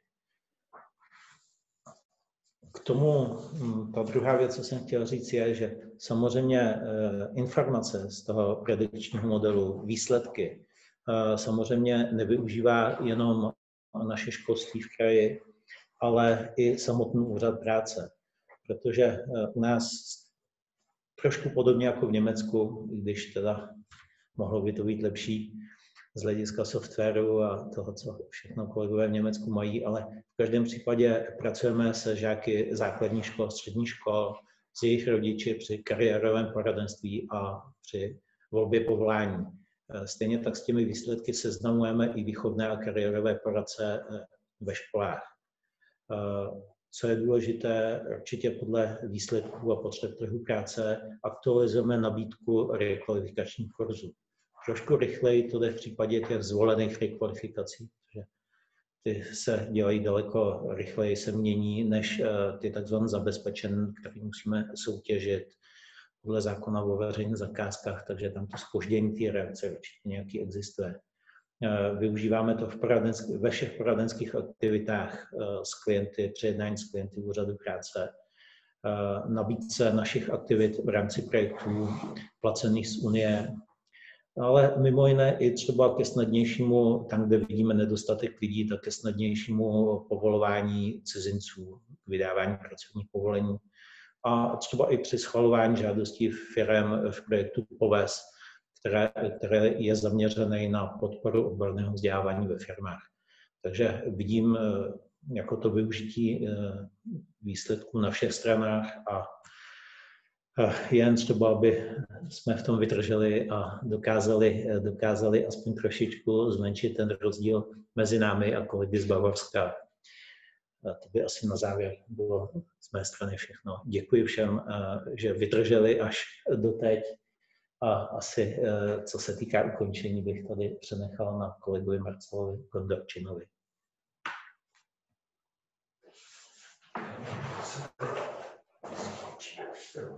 Sdílení.